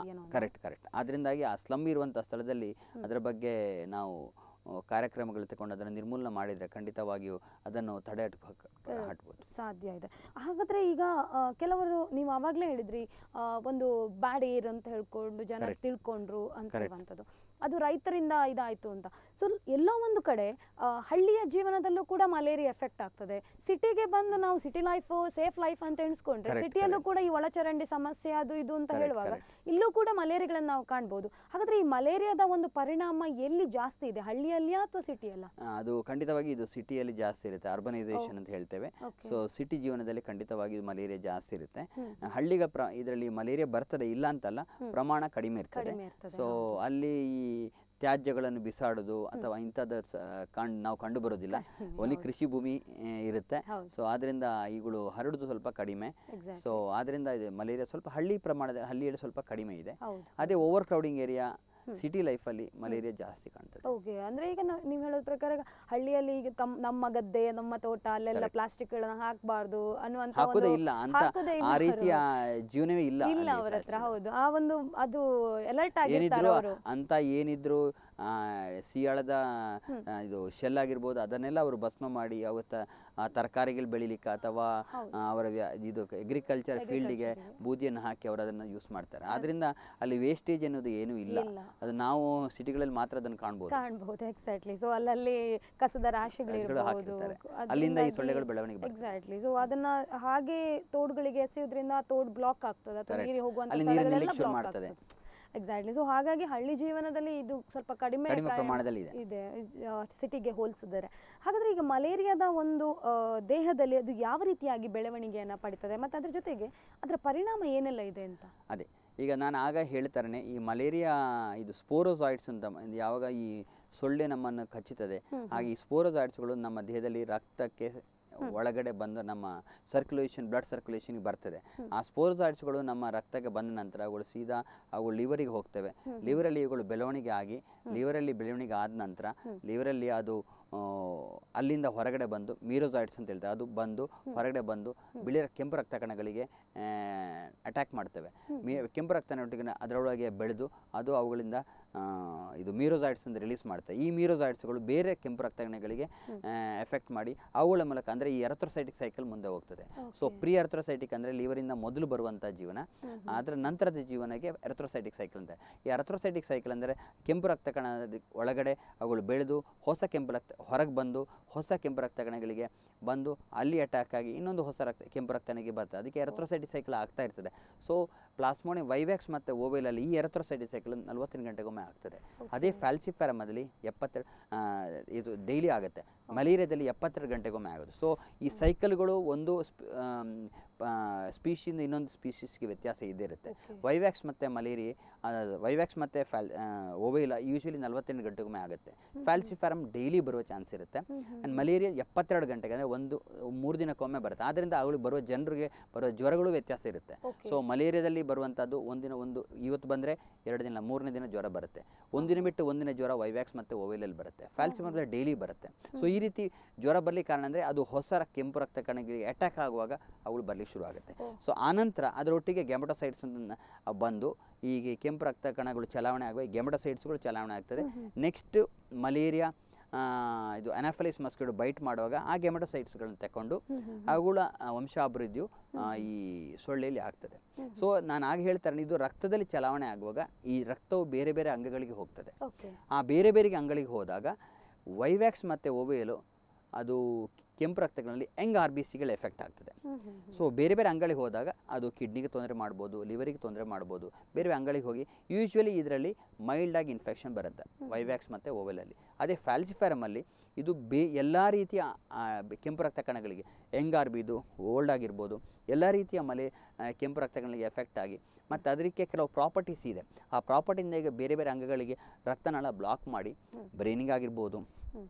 ಕಿಡ್ನಿಗೆ ಆಗಿರ್ಬೋದು ಲಿವರಿಗೆ ಆಗಿರ್ಬೋದು ಬೇರೆ ಬೇರೆ ಅಂಗಳಿಗೆ ತೊಂದರೆ ಕೊಟ್ಕೊಂಡು ಸೀರಿಯಸ್ ಆಗಿ ಕಾಯಿಲೆ ಬರೋದು ಫ್ಯಾಲ್ಸಿಫರ್ ಮಲೇರಿಯಾದಿಂದ. ಸೊ ಅದು ಬೇರೆ ಎಲ್ಲ ರೀತಿಯ ಕೆಂಪು ರಕ್ತಗಳಿಗೆ ಎಫೆಕ್ಟ್ ಆಗಿ ಬೇರೆ ಬೇರೆ ಅಂಗಗಳಿಗೆ ತೊಂದರೆ ಕಂಡ ಕಾರಣ. ಅದು ಸೀರಿಯಸ್ನೆಸ್ ಆಫ್ ಮಲೇರಿಯಾ ಇಸ್ ಫ್ಯಾಲ್ಸಿಮರಿಯಾದಲ್ಲಿ ತುಂಬಾ ಜಾಸ್ತಿ. ಜಾಸ್ತಿ ಜಾಸ್ತಿ. ಓಕೆ ಅಂದ್ರೆ ಅದರದ್ದು ಪರಿಣಾಮ ಕೂಡ ಅದೇ ರೀತಿಯಾಗಿ ಇರ್ತದೆ. ಬ್ಲಾಕ್ ಆಗುವಂತದ್ದು ರಕ್ತನಾಳ ಬ್ಲಾಕ್ ಆಗಿ ಅವುಗಳು ಆ ಆರ್ಗನ್ ಅನ್ನು ಕರೆಕ್ಟ್ ಆಗಿ ಕೆಲಸ ಮಾಡ್ಲಿಕ್ಕೆ ಬಿಡೋದಿಲ್ಲ ಅದಕ್ಕೆ ಆರ್ಗನ್ ಫೇಲ್ ಆಗುತ್ತೆ. ಸೊ ಕಿಡ್ನಿ ಫೇಲ್ ಆಗಿರ್ಬೋದು ಲಿವರ್ ಫೇಲ್ ಆಗಿರ್ಬೋದು ಅಥವಾ ಬ್ರೈನ್ಗೆ ಎಫೆಕ್ಟ್ ಆಗಿದೆ ಅದಕ್ಕೆ ನಾವು ಸೆರೆಬ್ರಲ್ ಮಲೇರಿಯಾ ಅಂತ ಹೇಳ್ತೇವೆ. ಸೊ ಬೇರೆ ಬೇರೆ ರೀತಿಯ ವಿಧಾನದ ಮಲೇರಿಯಾಗಳು ಬರ್ತದೆ ಅದು ಹೆಚ್ಚಿನ ಸಮಯದಲ್ಲಿ ಫ್ಯಾಲ್ಸಿಮ ಮಲೇರಿಯಲ್ಲಿ ಬರ್ತದೆ. ಓಕೆ ಸೊ ಅಂದ್ರೆ ಒಂದು ಸಲಕ್ಕೆ ಅದು ಜಾಸ್ತಿ ಉಲ್ಬಣವಾದಾಗ ಮಾತ್ರ ಇಂಥ ಲಕ್ಷಣಗಳೆಲ್ಲ ಕಂಡು ಬರುತ್ತೆ ಕಂಡು ಬರುತ್ತೆ ಅದಕ್ಕೆ. ನಾವು ಹೇಳೋದು ಆದಷ್ಟು ಬೇಗ ಪತ್ತೆ ಹಚ್ಚಿದ್ರೆ ಇಂಥ ತೊಂದರೆಗಳು ಬರದ ಹಾಗೆ ನೋಡಿಕೊಂಡು ಬೇಗ ಟ್ರೀಟ್ಮೆಂಟ್ ಮಾಡಿ ಗುಣಮುಖ ಆಗ್ಬೋದು. ಹಾ ಹಾ. ಅಂದ್ರೆ ಯೂಶ್ವಲಿ ಈಗ ಹೇಗಾಗ್ತದೆ ಅಂತ ಹೇಳಿದ್ರೆ ಮಲೇರಿಯಾ ಅಂತ ಬಂದ ಕೂಡಲೇ ಏನನ್ಸ್ತದೆ ಒಂದೆರಡು ಸಹ ಜ್ವರ ಇರ್ತದೆ ಒಂದು ಸ್ವಲ್ಪ ವಾಂತಿ ಆಗ್ತದೆ. ಅಲ್ಲಿಗೆ ಮಲೇರಿಯಾ ಮತ್ತೊಂದಿಷ್ಟು ಮಾತ್ರೆ ತಗೊಂಡ್ರೆ ಆಯ್ತು. ಆ- ಆ ಮನಸ್ಥಿತಿಯಲ್ಲಿ ಇದ್ದಾರೆ ಜನ. ಸೊ ಅದರಿಂದ ಹೊರಗಡೆ ಬರಬೇಕು. ಮಲೇರಿಯಾದಲ್ಲೂ ಕೂಡ ಅನೇಕ ವಿಧಗಳಿದೆ. ಅದು ಉಲ್ಬಣ ಆದಾಗ ಕೈತಪ್ಪಿ ಹೋಗೋ ಮೊದಲು ಪ್ರಥಮತವಾಗಿ ಚಿಕಿತ್ಸೆಗಳನ್ನ ತಗೊಳ್ಳುವಂಥದ್ದು ವೈದ್ಯರನ್ನ ಭೇಟಿಯಾಗುವಂಥದ್ದು ತುಂಬಾನೇ ಇಂಪಾರ್ಟೆಂಟ್ ಇದರಲ್ಲಿ. ಎಸ್ ನರ್ ನಾನು ಇದರ ಜೊತೆಗೆ ನಿಮ್ಮ ಜೊತೆಗೆ ಇನ್ನಷ್ಟು ಮಾತಾಡ್ಲಿಕ್ಕಿದೆ ಸೊ ನಾನು ಕಾರ್ಯಕ್ರಮದಲ್ಲಿ ಒಂದು ಪುಟ್ಟ ವಿರಾಮವನ್ನು ತಗೊಳ್ಳುವಂಥ ಸಮಯ ಆಗಿದೆ. ಎಸ್ ವೀಕ್ಷಕರೇ ಕಾರ್ಯಕ್ರಮ ಹೀಗೆ ಮುಂದೆ ಸಾಗುತ್ತೆ. ಒಂದು ಪುಟ್ಟ ವಿರಾಮದ ನಂತರ.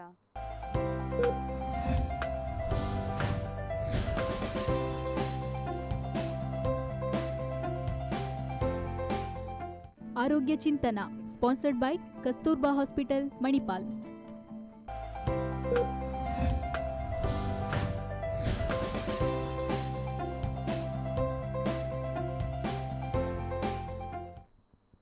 Yes ಒಂದು ಪುಟ್ಟ ವಿರಾಮದ ನಂತರ ಮತ್ತೊಮ್ಮೆ ಕಸ್ತೂರಬಾ ಆಸ್ಪತ್ರೆ ಅರ್ಪಿಸುವಂತಹ ಆರೋಗ್ಯ ಚಿಂತನ ನೇರ ಪ್ರಸಾರ ಕಾರ್ಯಕ್ರಮಕ್ಕೆ ನಿಮ್ಮನ್ನೆಲ್ಲರನ್ನೂ ಕೂಡ ಮತ್ತೊಮ್ಮೆ ಸ್ವಾಗತಿಸ್ತಾ ಇದ್ದಾನೆ. ಸೊ ನನ್ನ ಜೊತೆಗೆ ಡಾಕ್ಟರ್ ಶಿವಶಂಕರ್ ಸರ್ ಇದ್ದಾರೆ. ಬನ್ನಿ ಅವ್ರ ಜೊತೆಗೆ ಮತ್ತಷ್ಟು ಮಲೇರಿಯಾದ ಬಗ್ಗೆ ಮಾತಾಡೋಣ. ನಾವು ವಿರಾಮಕ್ಕೆ ಹೋಗೋ ಮೊದಲು ಮಾತಾಡ್ತಾ ಇದ್ವಿ ಇದು ಯಾವ ರೀತಿಯಾಗಿ ಬೆಳವಣಿಗೆಯನ್ನು ಪಡಿತದೆ ಯಾವ ರೀತಿ ಪರಿಣಾಮವನ್ನು ಬೀರ್ತದೆ ಅಂತ. ಸೊ ಅದ್ರ ಜೊತೆಗೆ ಇನ್ನೊಂದು ಜನರಿಗಿರುವಂಥ ಕ್ಯೂರಿಯಾಸಿಟಿ ಕ್ವಶನ್ಸ್ ಅಂತ ಹೇಳಿದ್ರೆ ಇದ್ರ ಲಕ್ಷಣ ಏನು ಅಂತ? ಯಾಕಂತ ಹೇಳಿದ್ರೆ ಯೂಶ್ವಲಿ ಮಲೇರಿಯಾ ಅಂತ ಅಂದ ಕೂಡಲೇ ವಾಂತಿ ಆಗ್ತದೆ ಇಲ್ಲ ತುಂಬ ಹೈ ಫೀವರ್ ಬರ್ತದೆ. ಇದು ಎರಡು ಲಕ್ಷಣಗಳು ಮಾಮೂಲಾಗಿ ಜನರಲ್ ಇದೆ ಆದ್ರೆ ಇದನ್ನ ನೋಡ್ಲಿಕ್ಕೆ ಹೋದಾಗ ಬೇರೆ ಜ್ವರದಲ್ಲೂ ಕೂಡ ಈ ಲಕ್ಷಣ ಬರಲಿಕ್ಕೆ ಸಾಧ್ಯತೆ ಇದೆ. ಸೊ ಹಾಗಾದ್ರೆ ಇದರ ಲಕ್ಷಣಗಳೇನಿದೆ ಸರ್? ಸೊ ನಾನು ಹಾಗೆ ಹೇಳಿದ ಥರನೇ ಈ ಮಲೇರಿಯಾ ಕಾಯಿಲೆಗಳಲ್ಲಿ ನಾಲ್ಕು ಐದು ಸ್ಪೀಷೀಸ್ ಇದ್ದರೂ ಸಹ. ನಮ್ಮ ದೇಶದಲ್ಲಿ ಇರುವಂಥದ್ದು ಪ್ಲಾಸ್ಮೋಡಿಯಂ ವೈವ್ಯಾಕ್ಸ್ ಮತ್ತು ಫ್ಯಾಲ್ಸಿಯಂ ಮಲೇರಿಯಾ. ಸೊ ಅದರಲ್ಲಿ ಅದರಲ್ಲಿ ಎರಥ್ರೋಸೈಟಿಕ್ ಸೈಕಲ್ ಅಂತ ನಾನು ಹೇಳಿದ ಥರನ ಈ ವೈವ್ಯಾಕ್ಸ್ ಮತ್ತು ಓವೇಲ್ ಮಲೇರಿಯಾಗಳು ಒಂದಿನ ಬಿಟ್ಟು ಒಂದಿನ ಜ್ವರ ಬರ್ಲಿಕ್ಕೆ ಶುರು ಆಗುತ್ತೆ. ಅದಕ್ಕೆ ತರ್ಷರಿ ಮಲೇರಿಯಾ ಅಂತ ಹೇಳ್ತೇವೆ. ಇವತ್ತು ಜ್ವರ ಬಂದರೆ ನಾಳೆ ಇಲ್ಲ ನಾಳ್ದು ಜ್ವರ ಬರುತ್ತೆ. ಸೊ ಅದೇ ಫ್ಯಾಲ್ಸಿಯಂ ಮಲೇರಿಯಾ ಅಂದರೆ ಡೈಲಿ ಜ್ವರ ಬರುತ್ತೆ. ಮತ್ತೆ ಮಲೇರಿಯಾ ಅಂದರೆ ಇವತ್ತು ಜ್ವರ ಬಂದರೆ ಎರಡು ದಿನ ಇಲ್ಲ ಮೂರನೇ ದಿನ ಜ್ವರ ಬರ್ತದೆ. ಸೊ ಈ ಥರ ಜ್ವರ ಬರುವ ಲಕ್ಷಣಗಳಿರ್ತದೆ. ಸೊ ಇದರ ಜೊತೆಗೆ ಏನಿರುತ್ತೆ? ಜನರಿಗೆ ಹೆಚ್ಚಿನ ಸಮಯದಲ್ಲಿ ತಲೆನೋವು ಇರ್ತದೆ. ಮೈಕೆ ನೋವು ಸುಸ್ತು ವಾಂತಿ ಮತ್ತೆ ವಾಂತಿ ಬಂದಾಗೆ ಆಗೋದು ಮೈಕೆ ನೋವುಗಳು ಇಂಥ ಲಕ್ಷಣಗಳು ಹೆಚ್ಚಿನ ಸಮಯದಲ್ಲಿ ಇರ್ತದೆ. ಈ ಜ್ವರ ಯಾವ ಥರ ಇರ್ತದೆ ಯಾವ ಥರ ಜನರಿಗೆ ಅನುಭವ ಆಗುತ್ತೆ ಅಂದರೆ ಫಸ್ಟಿಗೆ ಅವರಿಗೆ ಕೋಲ್ಡ್ ಸ್ಟೇಜ್ ಅಂತ ಹೇಳ್ತೇವೆ ನಾವು. ಫಸ್ಟ್ ತುಂಬ ಚಳಿ ಶುರು ಆಗುತ್ತೆ. ಚಳಿ ಶುರು ಇದಕ್ಕೆ ಕೋಲ್ಡ್ ಸ್ಟೇಜ್ ಅಂತ ಹೇಳ್ತೇವೆ. ಮತ್ತೆ ಅವ್ರಿಗೆ ಹಾಟ್ ಸ್ಟೇಜ್ ಅಂತ ಹೇಳ್ತೇವೆ. ಅವರಿಗೆ ಜ್ವರ ಬಂದ ನಂತರ ಅವರಿಗೆ ಚಳಿ ಬಂದ ನಂತರ ಅವರಿಗೆ ಜ್ವರ ಬರ್ಲಿಕ್ಕೆ ಶುರು ಆಗುತ್ತೆ. ಲಾಸ್ಟಲ್ಲಿ ಅವರಿಗೆ ಸ್ವೆಟಿಂಗ್ ಸ್ಟೇಜ್ ಅಂತ ಹೇಳ್ತೇವೆ. ಸೊ ತುಂಬ ಬೆವರ್ಲಿಕ್ಕೆ ಶುರು ಆಗುತ್ತೆ. ಫಸ್ಟಿಗೆ ಕೋಲ್ಡ್ ಆದಾಗ ಅವರು ಕಂಬಳಿ ಹಾಕ್ಲಿಕ್ಕೆ ಶುರು ಮಾಡ್ತಾರೆ ಬ್ಲಾಂಕೆಟ್ ಹಾಕ್ತಾರೆ. ಮತ್ತೆ ಜ್ವರ ಬರುತ್ತೆ ಬಿಸಿ ಬಿಸಿ ಬಿಸಿ ಆಗುತ್ತೆ. ಸೊ ಮಾತ್ರೆ ತಗೊಳ್ತಾರೆ ಅಥವಾ ತನ್ನಷ್ಟಕ್ಕೆ ಅವರು ಫೀವರ್ ಸ್ಟೇಜಿಂದ ಕೋಲ್ಡ್ ಸ್ಟೇಜಿಗೆ ಹೋಗ್ತಾರೆ. ಬೆವರ್ಲಿಕ್ಕೆ ಶುರು ಆಗುತ್ತೆ. ಈ ಕೋಲ್ಡ್ ಸ್ಟೇಜ್ ಇದೆ ಖಂಡಿತ. ಹಲೋ ಹಲೋ ನಮಸ್ಕಾರ. ಯಾರು ಮಾತಾಡ್ತಾ ಇರೋದು? ಇಲ್ಲಿಂದ ಮಾತಾಡ್ತಾ ಇದ್ದೀರಿ? ನಾನು ಪ್ರೀಮಾ ಅಂತ ಉಡುಪಿಯಿಂದ ಮಾತಾಡುದು. ಹೇಳಿ madam. ನಿಮ್ಮ ಕಾರ್ಯಕ್ರಮಕ್ಕೆ ಸ್ವಾಗತ. ಡಾಕ್ಟರ್ ಇದ್ದಾರೆ. ಪ- ಏನಾದ್ರೂ ಕೇಳೋದಿದ್ರೆ ಕೇಳ್ಬೋದು.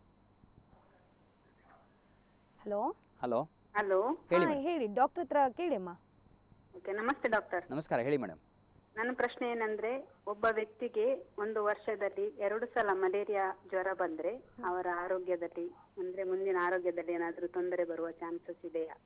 ಹಾಂ ನೀವು ಒಳ್ಳೆ ತುಂಬ ಪ- ಒಳ್ಳೆ ಪ್ರಶ್ನೆನೇ ಪ್ರಶ್ನೆಯೇ ಕೇಳಿದಿರಿ ಒಂದು ಮನುಷ್ಯನಿಗೆ ಎರಡು ಸಲ ಜ್ವರ ಬಂದರೆ ಏನಾದರೂ ದುಷ್ಟ ಇನ್ನು ಭವಿಷ್ಯದಲ್ಲಿ ದುಷ್ಪರಿಣಾಮ ಬರ್ಬೋದಾ?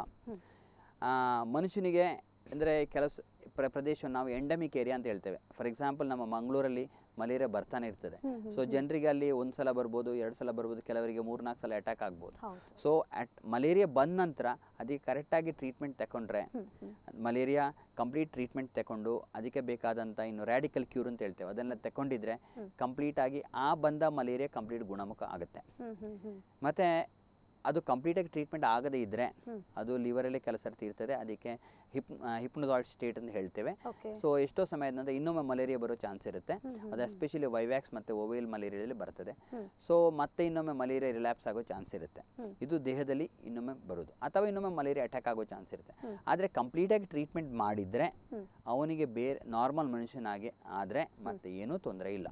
ಆದರೆ ಯಾವಾಗ ಅವನು ಅದೇ ಪ್ರದೇಶದಲ್ಲಿ ಜೀವನ ಮಾಡ್ತಾನೆ ಇನ್ನೊಮ್ಮೆ ಸೊಳ್ಳೆ ಕಚ್ಚಿ ಇನ್ನೊಮ್ಮೆ ಮಲೇರಿಯಾ ಬರುವ ಚಾನ್ಸ್ ಖಂಡಿತ ಇದೆ.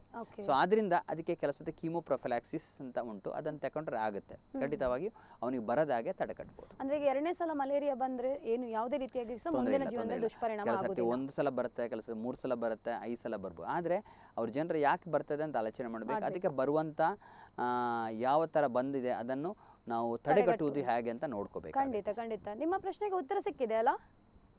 ಎಸ್ ಥ್ಯಾಂಕ್ ಯು ಕರೆ ಮಾಡಿದ್ದಕ್ಕೆ. ನೀವು ಹೇಳ್ತಾ ಆದ್ರೆ ಮೂರು ಸ್ಟೇಜ್ ಇದೆ. ಕೋಲ್ಡ್ ಸ್ಟೇಜ್ ಇದೆ. Cold stage hot stage sweating stage ಈ ರೀತಿ ಜ್ವರ ಬಂದು ಈ ಜ್ವರ ಯೂಶ್ವಲಿ ಫಾರ್ಟಿ ಡಿಗ್ರಿ ಸೆಂಟಿಗ್ರೇಡ್ ತುಂಬ ಹೈ ಜ್ವರ ಬರುತ್ತೆ. ಅದರೊಳಗೆ ಚಳಿ ಬಂದು ಬೆವರ್ತದೆ ಸೊ ಇದರ ಜೊತೆಗೆ ತಲೆನೋವು ಮೈಕೈ ನೋವು ಸುಸ್ತು ವಾಂತಿ ಇಂಥ ಪರಿಚಯ ಪರಿಸ್ಥಿತಿಗಳು ಬರುತ್ತೆ. ಇದಕ್ಕೆ ಯೂಶ್ವಲಿ ಆಗಿ ಮಲೇರಿಯಲ್ಲಿ ಇಂಥ ಚಿಹ್ನೆಗಳು ಬರ್ತದೆ. ಅದೇ ಫ್ಯಾಲ್ಸಿಫಾ ಮಲೇರಿಯಲ್ಲಿ ಇದು ಇದರ ಒಟ್ಟಿಗೆ ಬೇರೆ ಬೇರೆ ಅಂಗಗಳಿಗೆ ತೊಂದರೆ ಬಂದು ಅವರಿಗೆ ಪ್ರಜ್ಞೆ ತಪ್ಪಿ ಹೋಗೋ ಚಾನ್ಸ್ ಇರುತ್ತೆ. ಅದಕ್ಕೆ ನಾವು ಸೆರ್ಬ್ಲ್ ಮಲೇರಿಯಾದಲ್ಲಿ ಪ್ರಜ್ಞೆ ತಪ್ಪುವುದು ಫಿಟ್ಸ್ ಬರೋ ಚಾನ್ಸ್ ಇರುತ್ತೆ. ಅದೇ ಥರ ಲಿವರ್ ತೊಂದರೆ ಬಂದರೆ ಅವರಿಗೆ ಜಾಂಡಿಸ್ ಬರೋ ಚಾನ್ಸ್ ಇರುತ್ತೆ. ಕಿಡ್ನಿ ತೊಂದರೆ ಬಂದರೆ ಕಿಡ್ನಿ ಫೇಲ್ ಆದ ಒಳ್ಳೆ ಮೂತ್ರ ಕಡಿಮೆ ಹೋಗೋದು ಕೈಕಾಲು ದಪ್ಪ ಆಗೋದು ಶ್ವಾಸಕೋಶಕ್ಕೆ ತೊಂದರೆ ಬಂದರೆ ಎ ಆರ್ ಡಿ ಎಸ್ ಅಂತ ಹೇಳ್ತೇವೆ. ಉಪ್ಸ ಅಂದರೆ ಬ್ರೆತ್ಲೆಸ್ನೆಸ್ ಅಂತ ಹೇಳ್ತೇವೆ. ಈ ಥರ ಎಲ್ಲ ಬೇರೆ ಬೇರೆ ಅಂಗಗಳಿಗೆ ತೊಂದರೆ ಬರೋ ಚಾನ್ಸ್ ಉಂಟು. ಅದೇ ಥರ ರಕ್ತದಲ್ಲಿ ಪ್ಲೇಟ್ಲೇಟು ಕಡಿಮೆ ಆದರೆ ಅಥವಾ ಡಿ ಎಸ್ ಇಂದ ಬಂದರೆ ರಕ್ತಸ್ರಾವ ಆಗೋದು. ಎಲ್ಲ ರಂಧ್ರಗಳಿಂದ ಅಥವಾ ಮೂತ್ರದಲ್ಲಿ ರಕ್ತಸ್ರಾವ ಆಗೋ ಚಾನ್ಸ್ ಇರುತ್ತೆ. ಸೊ ಅದು ಯಾವ ರೀತಿಯ ಸಿವಿರಿಟಿ ಆಫ್ ಮಲೇರಿಯಾ ಅಂತ ನೋಡ್ಕೋಬೇಕು. ಅದು ತುಂಬ ಸಿವಿಯರ್ ಆದರೆ ಇಂಥ ರೋಗ ಲಕ್ಷಣಗಳು ಬರ್ತವೆ. ಇಲ್ದಿದ್ರೆ ಯೂಶ್ವಲಿ ವೈವ್ಯಾಕ್ಸ್ ನಾನು ಆಗ ಹೇಳ್ತೇನೆ ಹೆಚ್ಚಿನ ಸಮಯದಲ್ಲಿ ವೈವ್ಯಾಕ್ಸ್ ಮಲೇರಿಯಾ ಬರ್ತದೆ. ಬಂದರೆ ಜ್ವರ ಮೈಕೈ ನೋವು ಮತ್ತೆ ತಲೆನೋವು ವಾಂತಿ ಇಂಥ ಕಾಮನ್ ಲಕ್ಷಣಗಳು. ಅಂದ್ರೆ ಈಗ ಲಕ್ಷಣಗಳಲ್ಲಿ ನಾವು ನೋಡ್ಲಿಕ್ಕೆ ಹೋದಾಗ ಮೂರು ರೀತಿಯಲ್ಲಿ ನಮಗೆ ಕಾಣ್ಲಿಕ್ಕೆ ಸಿಗ್ತದೆ. ಅಂದ್ರೆ ಒಂದು cold stage and stage and sweating stage ಇಲ್ಲ ಒಂದ್ ಕಡೆಯಲ್ಲಿ ಕೋಲ್ಡ್ ಸ್ಟೇಜ್ ಅಂತ ಹೇಳಿ ಜೋರ್ ಚಳಿ ಆಗ್ತು ಅಂತೇಳಿ ಹೊದಕೆ ಎಲ್ಲ ಹಾಕೊಂಡು ಮಲ್ಕೊಳ್ತಾರೆ. ಜ್ವರ ಬಂದ ಕೂಡಲೇ ಬೆವರ್ಲಿಕ್ಕೆ ಶುರುವಾದ ಕೂಡಲೇ ಮಾಮೂಲಾಗಿ ಥಿಂಕಿಂಗ್ ಹೇಗಿರ್ತದೆ ಅಂದ್ರೆ ಜ್ವರ ಬಿಡ್ತು ಅಂತ ಲೆಕ್ಕ ಬೆವರಿನ ಮೂಲಕ ಜ್ವರ ಹೋಯ್ತು ಅಂತ. ಬಟ್ ಮಲೇರಿಯಾದಲ್ಲೂ ಇದು ಕೂಡ ಒಂದು ಲಕ್ಷಣ ಆದ ಕಾರಣ ಆದಷ್ಟು ಇದರ ಬಗ್ಗೆ ಗಮನ ಹರಿಸಲೇಬೇಕು. ಎಸ್ ಇದನ್ನ ಆ, ಮತ್ತೊಂದು ಕರೆ ನಮಗೋಸ್ಕರ. ಹಲೋ ಹಲೋ ನಮಸ್ಕಾರ. ಯಾರು ಮಾತಾಡ್ತಾ. ಇರೋದು ನಾನು ಆಶಾ ಅಂತ ಕುಂದಾಪುರದಿಂದ ಆಶಾ ಅವರೇ ಕೇಳಿ ನಿಮ್ಮ ಪ್ರಶ್ನೆಯನ್ನ. ಆ, ನಮಸ್ತೆ ಡಾಕ್ಟರ್. ನಮಸ್ಕಾರ ಹೇಳಿ ಮೇಡಮ್. ಹಲೋ ಹೇಳಿ ಮೇಡಮ್. ಹಲೋ ಕೇಳಿಸ್ತಾ ಇದೆ ಹೇಳಿ ಅಮ್ಮ. ಹೇಳಿ okay. ನನಗೆ ಎರಡು ಕ್ವಶನ್ಸ್ ಇದೆ. ಇನ್ನು ಒಂದಂತ ಹೇಳಿದ್ರೆ ಗರ್ಭಿಣಿಯರಿಗೆ ಮಲೇರಿಯಾ ಬಂದ್ರೆ ಅವರನ್ನ ಎಷ್ಟು ಹೇಗೆ ಕೇರ್ ತಕೊಳ್ಬೇಕು ಅಂತ. ಇನ್ನೊಂದು ಆ ಈ ಮಲೇರಿಯಾ ಒಂದು ಪ್ರದೇಶದಲ್ಲಿ ಹೈಯೆಸ್ಟ್ ನಂಬರ್ ಅಲ್ಲಿ ಕಂಡು ಬಂದಾಗ ಅಲ್ಲಿ ಯಾವ ರೀತಿ ಪ್ರಿಕಾಷನ್ ಪ್ರಿಕಾಷನರಿ ಮೆಜರ್ಸ್ ಅನ್ನು ತಕೊಳ್ಬೇಕು ಅಂತ. ಖಂಡಿತ ತುಂಬಾ ಒಳ್ಳೆಯ ಪ್ರಶ್ನೆ ಕೇಳಿದಿರಿ. ಆ, ಈ ಮಲೇರಿಯಾ ಪ್ರೆಗ್ನೆನ್ಸ್ ಪ್ರೆಗ್ನೆನ್ಸಿ ಅವರಲ್ಲಿ ಬಂದ್ರೆ ಯಾವ ರೀತಿ ಮಲೇರಿಯಾ ಅಂತ ನೋಡ್ಬೇಕಾಗತ್ತೆ. ಸೊ ಇದು ವೈವ್ಯಾಕ್ಸ್ ಮಲೇರಿಯಾ ಬಂದಿದ್ರೆ ಸೊ ಅವರಿಗೆ ಕ್ಲೋರೋಕ್ವಿನ್ ಟ್ಯಾಬ್ಲೆಟ್ ಕೊಡ್ತೇವೆ. Chloroquine usually they will sensitive to chloroquine chloroquine tablet ಕೊಟ್ಟು ಅವರಿಗೆ ಕಂಪ್ಲೀಟ್ ಟ್ರೀಟ್ಮೆಂಟ್ ಕೊಟ್ಟ ನಂತರ ವೀಕ್ಲಿ ಕ್ಲೋರೋಕ್ವಿನ್ ಕೊಟ್ಟ ನಂತರ ಡೆಲಿವರಿ ಆದ ನಂತರ ಅದಕ್ಕೆ ರ್ಯಾಡಿಕಲ್ ಕ್ಯೂರ್ ಅಂತ ಪ್ರೈಮಕ್ವಿನ್ ಕೊಡ್ತೇವೆ. ಅದೇ ಫ್ಯಾಲ್ಸಿವ ಮಲೇರಿಯಾ ಆದರೆ ಅದು ತುಂಬ ಸಿವಿಯರ್ ಮಲೇರಿಯಾ ಆಗ ನಾನು ಹೇಳಿದ ಅವರು ಪ್ರೆಗ್ನೆನ್ಸಿ ಯಾವ ಪರಿಸ್ಥಿತಿಯಲ್ಲಿ ಇದೆ ರಿಸ್ಕ್ ತಗೊಳ್ ಸ್ವಲ್ಪ ತಗೊಂಡು ಕೆಲವು ಮೆಡಿಸಿನ್ಸ್ ಕೆಲವು ಪ್ರೆಗ್ನೆನ್ಸಿಲಿ ಆಗಲ್ಲ. ಸೊ ಆದರೆ ಕೆಲವು ಮೆಡಿಸಿನ್ಸ್ ಕೊಡಬೇಕಾಗತ್ತೆ. ಅಂದರೆ ಜೀವ ತಾಯಿ ಜೀವನ ಮುಖ್ಯ ಅದೇ ಟೈಮಲ್ಲಿ ಮಗುವಿನ ಜೀವನ ಮುಖ್ಯ. ಸೊ ರಿಸ್ಕ್ ತಗೊಂಡು ಸ್ವಲ್ಪ ಸೀರಿಯಸ್ನೆಸ್ ಯೂಶ್ವಲಿ ಪ್ರೆಗ್ನೆನ್ಸಿ ಟೈಮಲ್ಲಿ ಮಲೇರಿಯಾ ಬಂದು ಸ್ವಲ್ಪ ಹೈ ರಿಸ್ಕ್ ಗ್ರೂಪ್ ಅಂತ ಹೇಳ್ತೇವೆ ನಾವು. ಅದಕ್ಕೆ ನಾವು ಟ್ರೀಟ್ಮೆಂಟ್ ಕ್ವಿನಿನ್ ಅಥವಾ ಆರ್ಟಿಸೋನೇಟ್ ಅಂತ ಇಂಜೆಕ್ಷನ್ ಇದೆ ಅಂತ ಇಂಜೆಕ್ಷನ್ ಕೊಡ್ತೀವಿ. ಕೊಟ್ಟು ಟ್ರೀಟ್ಮೆಂಟ್ ಮಾಡಿದ್ರೆ ಉತ್ತಮ ಆಗುತ್ತೆ. ಆದರೆ ಅಲ್ಲಿ ಆಲ್ ಟ್ರೀಟ್ಮೆಂಟ್ ಕೊಡುವಾಗಲೂ ಸ್ವಲ್ಪ ಕಾಂಪ್ಲಿಕೇಶನ್ ಜಾಸ್ತಿ ಬರುತ್ತೆ. ಮತ್ತೆ ಮಲೇರಿಯಾ ಪ್ರೆಗ್ನೆನ್ಸಿಲಿ ಬಂದರೂ ಡೆಫಿನೆಟ್ಲಿ ಕಾಂಪ್ಲಿಕೇಶನ್ ಜಾಸ್ತಿ. ಜಾಸ್ತಿ ಇರ್ತದೆ. ಓಕೆ ಅದರ ಜೊತೆಗೆ ಅವ್ರು ಇನ್ನೊಂದು ಪ್ರಶ್ನೆಯನ್ನು ಕೇಳಿದ್ರು. ಹೆಚ್ಚಿನ ಒಂದು ಕೆಲವು ಪ್ರದೇಶದಲ್ಲಿ ಜಾಸ್ತಿ ಮಲೇರಿಯಾ ಬರೋ ಕಾರಣ ಕಾರಣಗಳೇನು? ಸೊ ನಾನು ಆಗ ಹೇಳ್ತಾರೆ ಈ ಮಲೇರಿಯಾವು ನೀರು ನಿಲ್ಲುವ ಪ್ರದೇಶದಲ್ಲಿ ಅಥವಾ ಜಾಸ ಜನಸಾಂದ್ರತೆ ಜಾಸ್ತಿ ಇದ್ದ ಸ್ಥಳದಲ್ಲಿ ಬರುವಂಥ ಚಾನ್ಸ್ ಇರುತ್ತೆ. ಸೊ ಇಂಥ ಪ್ರದೇಶದಲ್ಲಿ ಯಾಕೆ ಬರ್ತಾ ಇದೆ ಅಂತ ನಾವು ಜನರು ಅದರ ಬಗ್ಗೆ ಮಾಹಿತಿ ತಕೊಂಡು ಅದನ್ನು ಬರದಾಗೆ ನೋಡ್ಕೊಳ್ಬೇಕು. Yes, ಅಥವಾ ಅದಕ್ಕೆ ಬರುವಂಥ ಇದನ್ನು ಕ್ರಮ ತಡೆಗಟ್ಟಲಿಕ್ಕೆ ನಮ್ಮ ಸರ್ಕಾರಿ ಇದ್ರಿಗೆ ಹೆಲ್ತ್ ಸೆಂಟರ್ಗಳಿಗೆ ಹೋಗಿ ಅಥವಾ ಅವರ ಮಾಹಿತಿ ತಗೊಂಡ್ರೆ ಅವರ ಸಹಾಯದ ಮೂಲಕ ಮಾಡಿಸ್ಬೇಕಾಗುತ್ತೆ. ಕೆಲವು ಸರ್ತಿ ನಮಗೆ ಅದೇ ಪ್ರದೇಶದಲ್ಲಿ ನಾವು ಜೀವನ ಮಾಡ್ತೇವೆ ಅಂತ ಇದ್ರೆ ಅದಕ್ಕೆ ಕೀಮೋ ಪ್ರೊಫಿಲಾಕ್ಸಿಸ್ ಅಂತ ಉಂಟು. ಅದನ್ನು ತಗೊಳ್ಬೇಕಾಗುತ್ತೆ. ಅಥವಾ ಪ್ರಿವೆನ್ಷನ್ ಕೆಲ ಸರ್ತಿ ಮಸ್ಕ್ಯುಲರ್ ನೆಟ್ ಯೂಸ್ ಮಾಡಬೇಕಾಗುತ್ತೆ. ಎಸ್ಪೆಷಲಿ ಆಫ್ರಿಕನ್ ಕಂಟ್ರಿಲಿ ಮಸ್ಕ್ಯುಲರ್ ನೆಟ್ ಯೂಸ್ ಮಾಡಿ ಡ್ರಾಸ್ಟಿಕ್ ಆಫ್ ಮಲೇರಿಯಾ ಟ್ರಾನ್ಸ್ಮಿಷನ್ ತುಂಬ ಕಡಿಮೆ ಕಡಿಮೆ ಆಗಿದೆ. ಅಥವಾ. ಅದರಿಂದ ಮಸ್ಕ್ಯುಲರ್ ನೆಟ್ ಯೂಸ್ ಮಾಡಿದರೆ ಅಥವಾ ಮಸ್ಕ್ಯುಲರ್ ರಿಪಲೆಂಟ್ ಕ್ರೀಮ್ಗಳಿದೆ ಕೇಕ್ಸ್ ಇದೆ ಅದನ್ನು ಹಾಕಿದ್ರೆ ಡೆಫಿನೆಟ್ಲಿ ಕಂಟ್ರೋಲ್ ಬರುತ್ತೆ. ಬರುತ್ತೆ. ಎಸ್ ಕರೆ ಮಾಡಿದ್ದಕ್ಕಾಗಿ ಧನ್ಯವಾದಗಳು ಆಶಾ ಅವರಿಗೆ. ಥ್ಯಾಂಕ್ ಯು ಈಗ ನಾವು ಮಾತಾಡ್ತಾ ಇದ್ವಿ ಇದರ ಲಕ್ಷಣಗಳೆಲ್ಲ ನಾವು ತಿಳ್ಕೊಂಡ್ವಿ. ಹಾಗಾದ್ರೆ ಇದನ್ನ ಕಂಡುಹಿಡಿಯೋದು ಹೇಗೆ? ಅಂತ ಹೇಳಿದ್ರೆ ಅದ್ರ ಜೊತೆಗೆ ಯಾವ ರೀತಿ ಚಿಕಿತ್ಸೆಗಳು ಇದೆ ಅಂತ? ಇದನ್ನು ಕಂಡುಹಿಡಲಿಕ್ಕೆ ಈ ಯಾವ ರೋಗಿಯು ಜ್ವರ ಬಂದ ಕೂಡಲೇ ಯಾಕಂದರೆ ಒಂದು ಮಾಹಿ ಜನರಿಗೆ ಗೊತ್ತಿರಬೇಕು ಜ್ವರ ಎನ್ನುವುದು ನಮ್ಮ ದೇಹವು ಒಂದು ಮಾಡುವಂಥ ಪ್ರತಿಕ್ರಿಯೆ. ನಮ್ಮ ದೇಹದಲ್ಲಿ ಅದು ಯಾವ ಇನ್ಫೆಕ್ಷನ್ ಆಗಿರ್ಬೋದು ಮೂತ್ರ ಇನ್ಫೆಕ್ಷನ್ ಆಗಿರ್ಬೋದು ಅಪೆಂಡಿಕ್ಸ್ ಆಗಿರ್ಬೋದು ಪಿತ್ತಕೋಶದಲ್ಲಿ ಕಲ್ಲಿದ್ದು ಇನ್ಫೆಕ್ಷನ್ ಬಂದಿರ್ಬೋದು ಕೊಲಿಸಿಸ್ಟೈಟಿಸ್ ಹೇಳ್ತೇವೆ ನ್ಯೂಮೋನಿಯಾ ಆಗಿರ್ಬೋದು ಮಲೇರಿಯಾ ಆಗಿರ್ಬೋದು ಟೈಫಾಯ್ಡ್ ಆಗಿರ್ಬೋದು. ಜ್ವರ ಬಂದ ಕೂಡಲೇ ಅದಕ್ಕೆ ಪ್ಯಾರಾಸಿಟಮಾಲ್ ಮಾತ್ರೆ ತಗೊಂಡು ಜ್ವರ ಕಡಿಮೆ ಮಾಡೋದು ಮುಖ್ಯ ಅಲ್ಲ. ಯಾಕೆ ಜ್ವರ ಬಂತು ಅಂತ ಟೆಸ್ಟ್ ಮಾಡಿ ನೋಡಬೇಕಾಗುತ್ತೆ. ಸೊ ಜ್ವರ ಬಂದ ಕೂಡಲೇ ಅದು ಟೆಸ್ಟ್ ಮಾಡಿದ ನಂತರ ಅನಂತರ ತಪಾಸಣೆ ಮಾಡಿದ ನಂತರ ಡಯಾಗ್ನೋಸ್ ಅಂತ ಹೇಳ್ತೇವೆ ನಾವು. ಆ ಡಯಾಗ್ನೋಸ್ ಮಾಡಿದಂದ್ರೆ ರಕ್ತ ತಪಾಸಣೆ ಮಾಡಬೇಕಾಗುತ್ತೆ. ಥಿಕ್ ಸ್ಮಿಯರ್ ಮತ್ತು ತಿನ್ ಸ್ಮಿಯರ್ ಅಂತ ಮಾಡ್ತೇವೆ.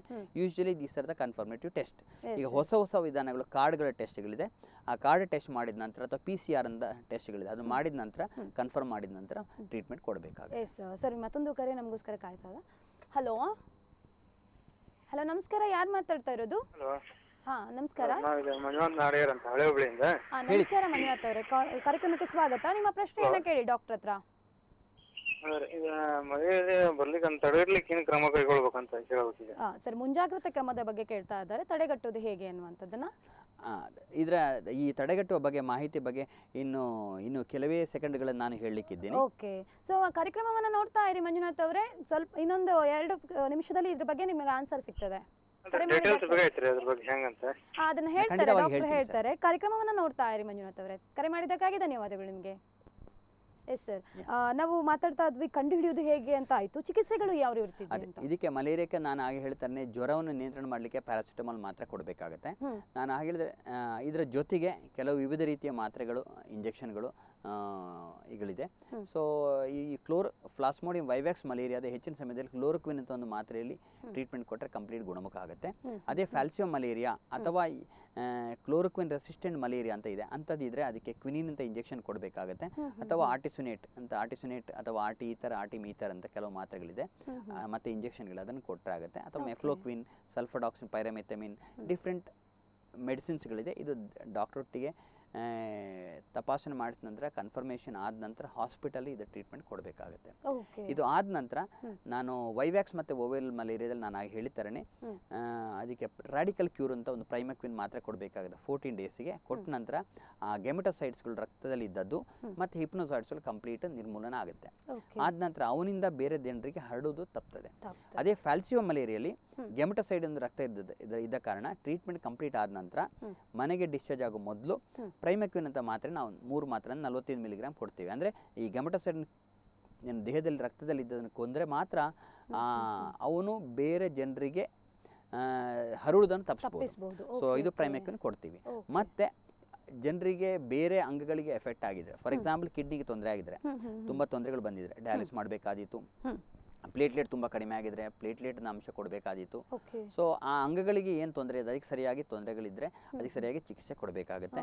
ಸೊ ಅವನಿಗೆ ವಾಂತಿ ಅಥವಾ ಹೈಡ್ರೇಷನ್ ಬೇಕಂತಿದ್ರೆ ವಾಂತಿ ಇದ್ದಿದ್ರೆ ಅದಕ್ಕೆ ಬೇಕಾದ ವಾಂತಿ ನಿಲ್ಲುವಂಥ ಮದ್ದುಗಳು. ಅದೇ ಹೈಡ್ರೇಷನ್ ಡಿಹೈಡ್ರೇಟ್ ಆಗಿದ್ರೆ ಅದಕ್ಕೆ ಐ ವಿ ಫ್ಲೂಡ್ಸ್ ಎಲ್ಲ ಕೊಡಬೇಕಾಗುತ್ತೆ. ಬೇಸಿಕ್ ಟ್ರೀಟ್ಮೆಂಟ್ ಕ್ಲೋರೋಕ್ವಿನ್ ಅದು ಕ್ವಿನಿನ್ ಆರ್ಟಿಸಿನೇಟ್ ಮದ್ದುಗಳೆಲ್ಲ ಕೊಡ್ತೀವಿ. ಓಕೆ ಅದು ಇಂಪಾರ್ಟೆಂಟ್ ಟ್ರೀಟ್ಮೆಂಟ್ ಎಸ್ ಎಕ್ಸಾಕ್ಟ್ಲಿ ಈಗ ಈಗ ಚಿಕಿತ್ಸೆಗಳಾದ ನಂತರದಲ್ಲಿ ಎಷ್ಟೋ ಸಲ ಎನಿಸ್ತವೆ ಜ್ವರ ಬಂದ ಮೇಲೆ ಮೆಡಿಸಿನ್ಸು ಅಥವಾ ಜ್ವರ ಬಂದ ಮೇಲೆ ಆ ಒಂದು ಚಿಕಿತ್ಸೆಗಳು ಅಥವಾ ಒದ್ದಾಟಗಳು ಇದೆಲ್ಲದಕ್ಕಿಂತ ಸಹ ಎಲ್ಲೋ ಒಂದು ಕಡೆ ಅದು ಬಾರದೇ ಇರೋ ರೀತಿಯಲ್ಲಿ ತಡೆಯುವುದೇ ತುಂಬಾನೇ ಇಂಪಾರ್ಟೆಂಟ್ ಅತಿ ಅನ್ನುವಂಥದ್ದು ಮುಖ್ಯ ಅತಿ ಮುಖ್ಯ. ಹಾಗಾದ್ರೆ ಈಗ ಈ ಮಲೇರಿಯಾ ಬಾರದೇ ಇರುವ ರೀತಿಯಲ್ಲಿ ಮುಂಜಾಗ್ರತೆ ಕ್ರಮಗಳೇನು? ಅದರ ಜೊತೆಗೆ ಇದರ ಪರಿಣಾಮ ಯೂಶ್ವಲಿ ಆವಾಗ ಆಶಾ ಅವರು ಕೇಳಿದ್ರು, ನಮ್ಮ ಹತ್ರ ಗರ್ಭಿಣಿಯರಿಗೆ ಮತ್ತೆ ಪುನಃ ಬಂದರೆ ಏನು, ಹೇಗೆ ಅಂತ ಹೇಳುವಂಥದ್ದು. ಅಂದ್ರೆ ಇದರ ಪರಿಣಾಮ ಯಾರ ಮೇಲೆ ಜಾಸ್ತಿ ಬೀರ್ತದೆ ಅಂತ? ಖಂಡಿತವಾಗಿ. ಸೊ ಇದಕ್ಕೆ ಹೈ ರಿಸ್ಕ್ ಗ್ರೂಪ್ ಅಂತ ಹೇಳ್ತೇವೆ. ಇದ್ರ ನಾನು ಆಗ ಹೇಳ್ತಾರೆ ಪ್ರೆಗ್ನೆನ್ಸಿ ಅಂದ್ರೆ ಗರ್ಭಿಣಿಯವರಿಗೆ ಮಲೇರಿಯಾ ಬಂದ್ರೆ ತುಂಬಾ ಸೀರಿಯಸ್ ಆಗಿ ಆಗೋ ಚಾನ್ಸ್ ಇರುತ್ತೆ. ಮಕ್ಕಳಿಗೆ ಬಂದ್ರೆ ಸೀರಿಯಸ್ ಆಗಿ ಚಾನ್ಸ್ ಇರುತ್ತೆ. ಅದೇ ತರ ಬೇರೆ ಕಾಯಿಲೆಗಳಿದ್ರೆ ಅವನಿಗೆ ಸಕ್ಕರೆ ಕಾಯಿಲೆ ಇರ್ಬೋದು ಅಥವಾ ಹೈಪರ್ ಟೆನ್ಷನ್ ಇರ್ಬೋದು ಕಾರ್ಡಿಯಕ್ ಪ್ರಾಬ್ಲಮ್ ರೀಲ್ ಫೇಲ್ ಇದ್ರೆ ಬೇರೆ ಕೋಮಾರ್ಬಿಡಿಟೀಸ್ ಇಲ್ನೆಸ್ ಇದ್ರೆ ಅಥವಾ ಓಲ್ಡ್ ಏಜ್ ಆಗಿದ್ರೆ ಸೊ ಅವರಿಗೆ ಮಲೇರಿಯಾ ಬಂದ್ರೂ ಸಹ ತುಂಬಾ ಸೀರಿಯಸ್ ಆಗೋ ಚಾನ್ಸ್ ಇರುತ್ತೆ. ಸೊ ಆದ್ರಿಗೆ ಅಂತವರಿಗೆ ಜಾಗೃತೆಯಾಗಿ ಟ್ರೀಟ್ಮೆಂಟ್ ಕೊಟ್ಟು ಅವರ ಬಗ್ಗೆ ತಪಾಸಣೆ ಮಾಡಿ ನೋಡಬೇಕಾಗತ್ತೆ. ಹಾಗಾದ್ರೆ ಮುಂಜಾಗ್ರತಾ ಕ್ರಮ ಏನಿದೆ ಇದಕ್ಕೆ ಖಂಡಿತವಾಗಿ. ಸೊ ಅತಿ ಮುಖ್ಯವಾದ ಕ್ವಶನ್ ಕೇಳ್ತಾ ಇದ್ರಿ. ಯಾಕಂದರೆ ನಮ್ಮ ದೇಶದಲ್ಲಿ ಮೋದಿಯವರು ಸ್ವಚ್ಛ ಭಾರತ್ ಅಂತ ಹೇಳಿ ನಮ್ಮ ಬಗ್ಗೆ ಅತಿ ದೇಶದಲ್ಲಿ ಒಳ್ಳೆ ಆರೋಗ್ಯ ಜನರಿಗೆ ಸಿಗಬೇಕು ಅಂತ ಜಾಗೃತಿ ಮೂಡಿಸ್ತಾ ಇದ್ದಾರೆ. ಅದರಿಂದಾಗಿ ಖಂಡಿತವಾಗಿ ಮಲೇರಿಯಾ ಒಳ್ಳೆ ಕಂಟ್ರೋಲಲ್ಲಿ ಬರ್ಬೋದು. ಮತ್ತು ಅನಂತರ ಎರಡು ಸಾವಿರದ ಮೂವತ್ತರಲ್ಲಿ ಬೀಟ್ ಮಲೇರಿಯಾ ಅಂತ ಅವರು ಒಂದು ಮಾತು ಹೇಳಿದ್ದಾರೆ. ಸೊ ಎರಡು ಸಾವಿರದ ಮೂವತ್ತರಲ್ಲಿ ಕಂಪ್ಲೀಟ್ ಆಗಿ ಇದನ್ನು ಎಲಿಮಿನೇಷನ್. ಮಾಡಬೇಕು ಅಂತ ಅವ್ರು ಹೇಳಿದ್ದಾರೆ. ಸೊ ಇದರ ಬಗ್ಗೆ ಎ ಬಿ ಸಿ ಡಿ ಅಂತ ಇದೆ. ಎ ಅಂದರೆ ಅವೇರ್ನೆಸ್ ಅಬೌಟ್ ಮಲೇರಿಯಾ ಹೇಗೆ ಅವೇರ್ನೆಸ್ ಮಾಡ್ಬೋದು? ಜನರಿಗೆ ಮಲೇರಿಯಾ ಸೊಳ್ಳೆಯಿಂದ ಹರಡುತ್ತದೆ ಫಸ್ಟ್ ಥಿಂಗ್ ಜನರಿಗೆ ಗೊತ್ತಿರಬೇಕು. ಮತ್ತೆ ಇವುಗಳು ಎಲ್ಲಿ ಜೀವನ ಮಾಡ್ತೇವೆ? ನಾನು ಹೇಳ್ತೇನೆ ಈ ಸಿಯಾಳದ ಶೆಲ್ಲಲ್ಲಿ ಇರ್ಬೋದು ಪ್ಲಾಸ್ಟಿಕ್ ಡಬ್ಬದಲ್ಲಿ ಇರ್ಬೋದು ನಿಂತ ನೀರಲ್ಲಿ ಇವುಗಳು ಜೀವನ ಮಾಡ್ತವೆ. ಅಂಥ ಪರಿಸ್ಥಿತಿ ಅಂಥ ಸ್ಥಳಗಳನ್ನು ಕ್ಲೀನ್ ಮಾಡಿ ಇಟ್ಕೊಳ್ಬೇಕು. ಅದು ಆ ಥರ ಬಿಸಾಡಬಾರ್ದು. ನಾವು ಕ್ಲೀನಾಗಿ ಇಟ್ಕೊಂಡ್ರೆ ಮಲೇಳುಗಳು ಸೊಳ್ಳೆಗಳು ಬೆಳೆಯುವುದು ಮತ್ತು ನಮಗೆ ಬಂದು ಮಲೇರಿಯಾನು ಹರಡುವುದನ್ನು ತಪ್ಪಿಸ್ಬೋದು. ಅದೇ ಥರ ನಾನು ಆಗ ಹೇಳ್ತೇನೆ ಎ ಆದ ನಂತರ ಬಿ. ಬೈಟಿಂಗ್ ಹ್ಯಾಬಿಟ್ಸ್ ಯೂಶ್ವಲಿ ಅವುಗಳು ಬೈಟ್ ಮಾಡ್ತವೆ ಅಂದರೆ ರಾತ್ರಿ ಟೈಮಲ್ಲಿ ಸೊ ಅದನ್ನು ಹೇಗೆ ನಾವು ತಪ್ಪಿಸ್ಬೋದು? ಸೊ ಮಸ್ಕಿಟೋ ನೆಟ್ ಹಾಕಿ ನಾವು ಮಲಗಿದರೆ ಖಂಡಿತವಾಗಿಯೂ ಅದನ್ನು ಕಂಟ್ರೋಲಲ್ಲಿ ಇಟ್ಕೊಳ್ಬೋದು. ಮತ್ತು ನಾವು ಆ ಪ್ರದೇಶಕ್ಕೆ ಹೋಗುವಾಗ ಅಥವಾ ಅಲ್ಲಿ ರೂಮಿಗೆ ಹೋದ ಕೂಡಲೇ ಫಸ್ಟಿಗೆ ಮಸ್ಕಿಟೋ ರಿಪಲೆಂಟ್ ಸ್ಪ್ರೇ ಮಾಡಿ. ಸ್ಪ್ರೇ ಮಾಡಿ ಓಕೆ ಮತ್ತು ಡೋರ್ ಆಗಲಿ ಅಥವಾ ವಿಂಡೋಸ ಕ್ಲೋಸ್ ಮಾಡಿ ಎ ಸಿ ಇದ್ರೆ ಡೆಫಿನೆಟ್ಲಿ ಯೂಸ್ ಮಾಡ್ಬೋದು. ಸೊ ಮಾಡಿ ಕರ್ಟನ್ಗಳನ್ನು ಹಾಕಿ ಮಲಗಿದ್ರೆ ಡೆಫಿನೆಟ್ಲಿ ಅಂಡರ್ ನೆಟ್ಟಲ್ಲಿ ಮಲಗಿದ್ರೆ ಮಸ್ಕಿಟೋ ಬೈಟ್ ಮಾಡೋದನ್ನು ಮಲೇರಿಯನ್ ಖಂಡಿತವಾಗಿ ತಪ್ಪಿಸ್ಬೋದು. ಮತ್ತೆ ನಾವು ಆ ಸ್ಥಳದಲ್ಲಿ ಜೀವನ ಹೋಗುವಾಗ. Clothings very important so complete cover ಆಗುವಂಥ ಡ್ರೆಸ್ಗಳನ್ನ ಹಾಕಿ ಹಾಕಿಕೊಂಡು ಹೋದರೆ ಇದು ಸಾಮಾನ್ಯ ಮನುಷ್ಯ ಎಲ್ರಿಗೂ ಗೊತ್ತಿರುತ್ತೆ. ಕವರ್ ಕೊಂಡು ಕವರ್ ಮಾಡ್ಕೊಂಡು ಹೋದರೆ ಈ ಬೈಟ್ ಮಸ್ಕಿಟೋ ಬೈಟ್ ಮಾಡೋ ಚಾನ್ಸ್ ಕಡಿಮೆ. ಇನ್ನೊಂದು ಮಾತು ನಮ್ಮ ವೈದ್ಯಕೀಯ ಪ್ರಬಂಧಗಳಲ್ಲಿ ಇದೆ. ಎಷ್ಟು ಸುಳ್ಳು ಎಷ್ಟು ಸತ್ಯ ಅಂತ ಗೊತ್ತಿಲ್ಲ. Number one dark colour dresses ಹಾಕಿದರೆ ಮಸ್ಕಿಟೋಗಳು ಬಂದು ಕಚ್ಚು ಜಾಸ್ತಿ. ಸೊ ಅದರಿಂದಾಗಿ ನಾವು ಡಾರ್ಕ್ ಕಲರ್ ಡ್ರೆಸ್ಗಳನ್ನು ಹಾಕಿದರೆ ಅವುಗಳು ಅಟ್ರಾಕ್ಷನ್ ಜಾಸ್ತಿ. ಸೊ ಅದರಿಂದ ಬರ್ತವೆ ಅಂತ ಹೇಳ್ತಾರೆ. ಅದು ಎಷ್ಟು ಸತ್ಯ ಎಷ್ಟು ಸುಳ್ಳು ಗೊತ್ತಿಲ್ಲ. ಸೊ ಇದರಿಂದಾಗಿ ನಾವು ಮತ್ತೆ ಮಸ್ಕಿಟೋ ರೆಪೆಲೆಂಟ್ ಕ್ರೀಮ್ಗಳಿದೆ ಅದನ್ನು ಹಾಕಿದ್ರು ಡೆಫಿನೆಟ್ಲಿ ಕಂಟ್ರೋಲ್ ಮಾಡ್ಬೋದು. ಇದು ಬಿ. ಮತ್ತೆ ಇದು ನೀಲಗಿರಿ ಎಣ್ಣೆ ಲೆಮನ್ ಕೆಲವರು ಯೂಸ್ ಮಾಡ್ತಾರೆ. ಇದರ ಎಫೆಕ್ಟ್ ಒಂದು ಫೋರ್ ಟು ಸಿಕ್ಸ್ ಅವರ್ಸ್ ಮಾತ್ರ ಇರ್ತದೆ. ಇದು ಬಿ ಸಿ ಅಂದರೆ ಕೀಮೋಪ್ರೊಫಲಾಕ್ಸಿಸ್ ಎ ಬಿ ಆಯಿತು. ಸಿ ಕೀಮೋಪ್ರೊಫಲಾಕ್ಸಿಸ್ ಅಂದರೆ ನಾವು ಆ ಊರಿಗೆ ಹೋಗುವಾಗ ನಾನು ಆಗ ಹೇಳಿದೆ ಫಾರ್ ಎಕ್ಸಾಂಪಲ್ ನಾವು ಒರಿಸ್ಸಾಕ್ಕೆ ಹೋಗ್ತೇವೆ. ಅಥವಾ ಬೇರೆ ದೇಶ ಜನರು ನಮ್ಮ ದೇಶಕ್ಕೆ ಬರ್ತಾರೆ. ಸೊ ಕೀಮೋಪ್ರೊಫಲಾಕ್ಸಿಸ್ ನಾವು ಬರದ ಹಾಗೆ ನೋಡ್ಬೋದು. ಅದನ್ನು ಒಂದು ವಾರದ ಮೊದಲು ನಾಲ್ಕು ವಾರ ಆ ಪ್ರಪ ಆ ಊರನ್ನು ಬಿಟ್ಟ ನಂತರ ಆ ಟ್ರೀಟ್ಮೆಂಟ್ ಕಂಟಿನ್ಯೂ ಮಾಡಬೇಕಾಗುತ್ತೆ. Chemoprophylaxis B C D diagnosis early diagnose and treatment very important ನಾನು ಆಗ ಹೇಳ್ತಾರೆ ಬೇಗ ಕಾಯಿಲೆಯನ್ನು ಪತ್ತೆ ಹಚ್ಚಿ ಟ್ರೀಟ್ಮೆಂಟ್ ಮಾಡಿದರೆ ಬೇರೆ ಅಂಗಗಳಿಗೆ ಎಫೆಕ್ಟ್ ಆಗುವಂಥದ್ದು ಸೀರಿಯಸ್ನೆಸ್ ಬರೋದನ್ನು ಕಂಪ್ಲೀಟಾಗಿ ಕಂಟ್ರೋಲ್ ಮಾಡ್ಬೋದು. ಸೊ ಈ ರೀತಿ prevention A B C D ಮಾಡಿ ಅಂಟಲ್ ನಾವು ಮಲೇರಿಯನ್ ಕಂಪ್ಲೂಡ್ ಆಗಿ ಇರಾಡಿಕೇಶನ್ ಆರ್ ಎಲಿಮಿನೇಷನ್ ಮಾಡ್ಬೋದು. ಮಾಡ್ಲಿಕ್ಕೆ ಸಾಧ್ಯ. ಎಸ್ ಸರ್ ಸುಮಾರು ಒಂದು ತಾಸುಗಳ ತನಕ ಮಲೇರಿಯಾದ ಬಗ್ಗೆ ನಮಗೆ ಸಂಪೂರ್ಣವಾದಂಥ ಮಾಹಿತಿಯನ್ನು ಕೊಟ್ಟಿದ್ರಿ. ಅದು ಹೇಗೆ ಬರ್ತದೆ ಯಾವ ರೀತಿ ಹರಡುತ್ತದೆ ಅದೇ ರೀತಿ ಚಿಕಿತ್ಸೆಗಳು ಏನು ಅದಕ್ಕಿಂತ ವೆರಿ ಇಂಪಾರ್ಟೆಂಟ್ ಮುಂಜಾಗ್ರತೆ ಕ್ರಮ. ಅದು ಈಗ ಮಳೆಗಾಲದಲ್ಲಿ ಯಾವ ರೀತಿ ಮುಂಜಾಗ್ರತೆ ಕ್ರಮಗಳನ್ನು ತಗೊಳ್ಬೇಕು ಅನ್ನೋದ್ರ ಬಗ್ಗೆ ಕೂಡ ಸಂಪೂರ್ಣವಾದ ಮಾಹಿತಿಯನ್ನು ನೀಡಿದ್ರಿ. ಕಾರ್ಯಕ್ರಮದ ಪರವಾಗಿ ಅದೇ ರೀತಿ ವೀಕ್ಷಕರ ಪರವಾಗಿ ನಿಮಗೆ ಧನ್ಯವಾದಗಳು. ನಮಸ್ಕಾರ. ಎಸ್ ವೀಕ್ಷಕರೇ ಒಂದು ಕಾಯಿಲೆ ಬಂದು ಅದರ ಬಗ್ಗೆ ನಾವು ಯೋಚನೆ ಮಾಡೋದಕ್ಕಿಂತ ಅದು ಬಾರದ ಹಾಗೆ ತಡೆಯುವುದು ತುಂಬ ಉತ್ತಮ ಅನ್ನುವಂಥದ್ದು ಡಾಕ್ಟರ್ ಅವರ ಮಾತು. ಖಂಡಿತವಾಗ್ಲೂ ಈ ಮಳೆಗಾಲದಲ್ಲಿ ಎಲ್ಲರೂ ಕೂಡ ಈ ಒಂದು ಏನೇನು ಮುಂಜಾಗ್ರತಾ ಕ್ರಮವನ್ನು ಹೇಳಿದ್ದಾರೆ ಅದನ್ನೆಲ್ಲನೂ ಕೂಡ ಮನೆಯಲ್ಲಿ ಮಾಡಿ ಅಂತ ಹೇಳ್ತಾ ಇವತ್ತಿನ ಈ ಕಾರ್ಯಕ್ರಮವನ್ನು ಇಲ್ಲಿಗೆ ಮುಗಿಸ್ತಾ ಇದ್ದಾನೆ. ನಿರಂತರ ಸುದ್ದಿ ಹಾಗೂ ಮನರಂಜನೆಗಾಗಿ ನೀವು ನೋಡ್ತಾರೆ ಡೈಜಿವರ್ ಟ್ವೆಂಟಿ ಫೋರ್ ಇಂಟು ಸೆವೆನ್ ನಮಸ್ಕಾರ.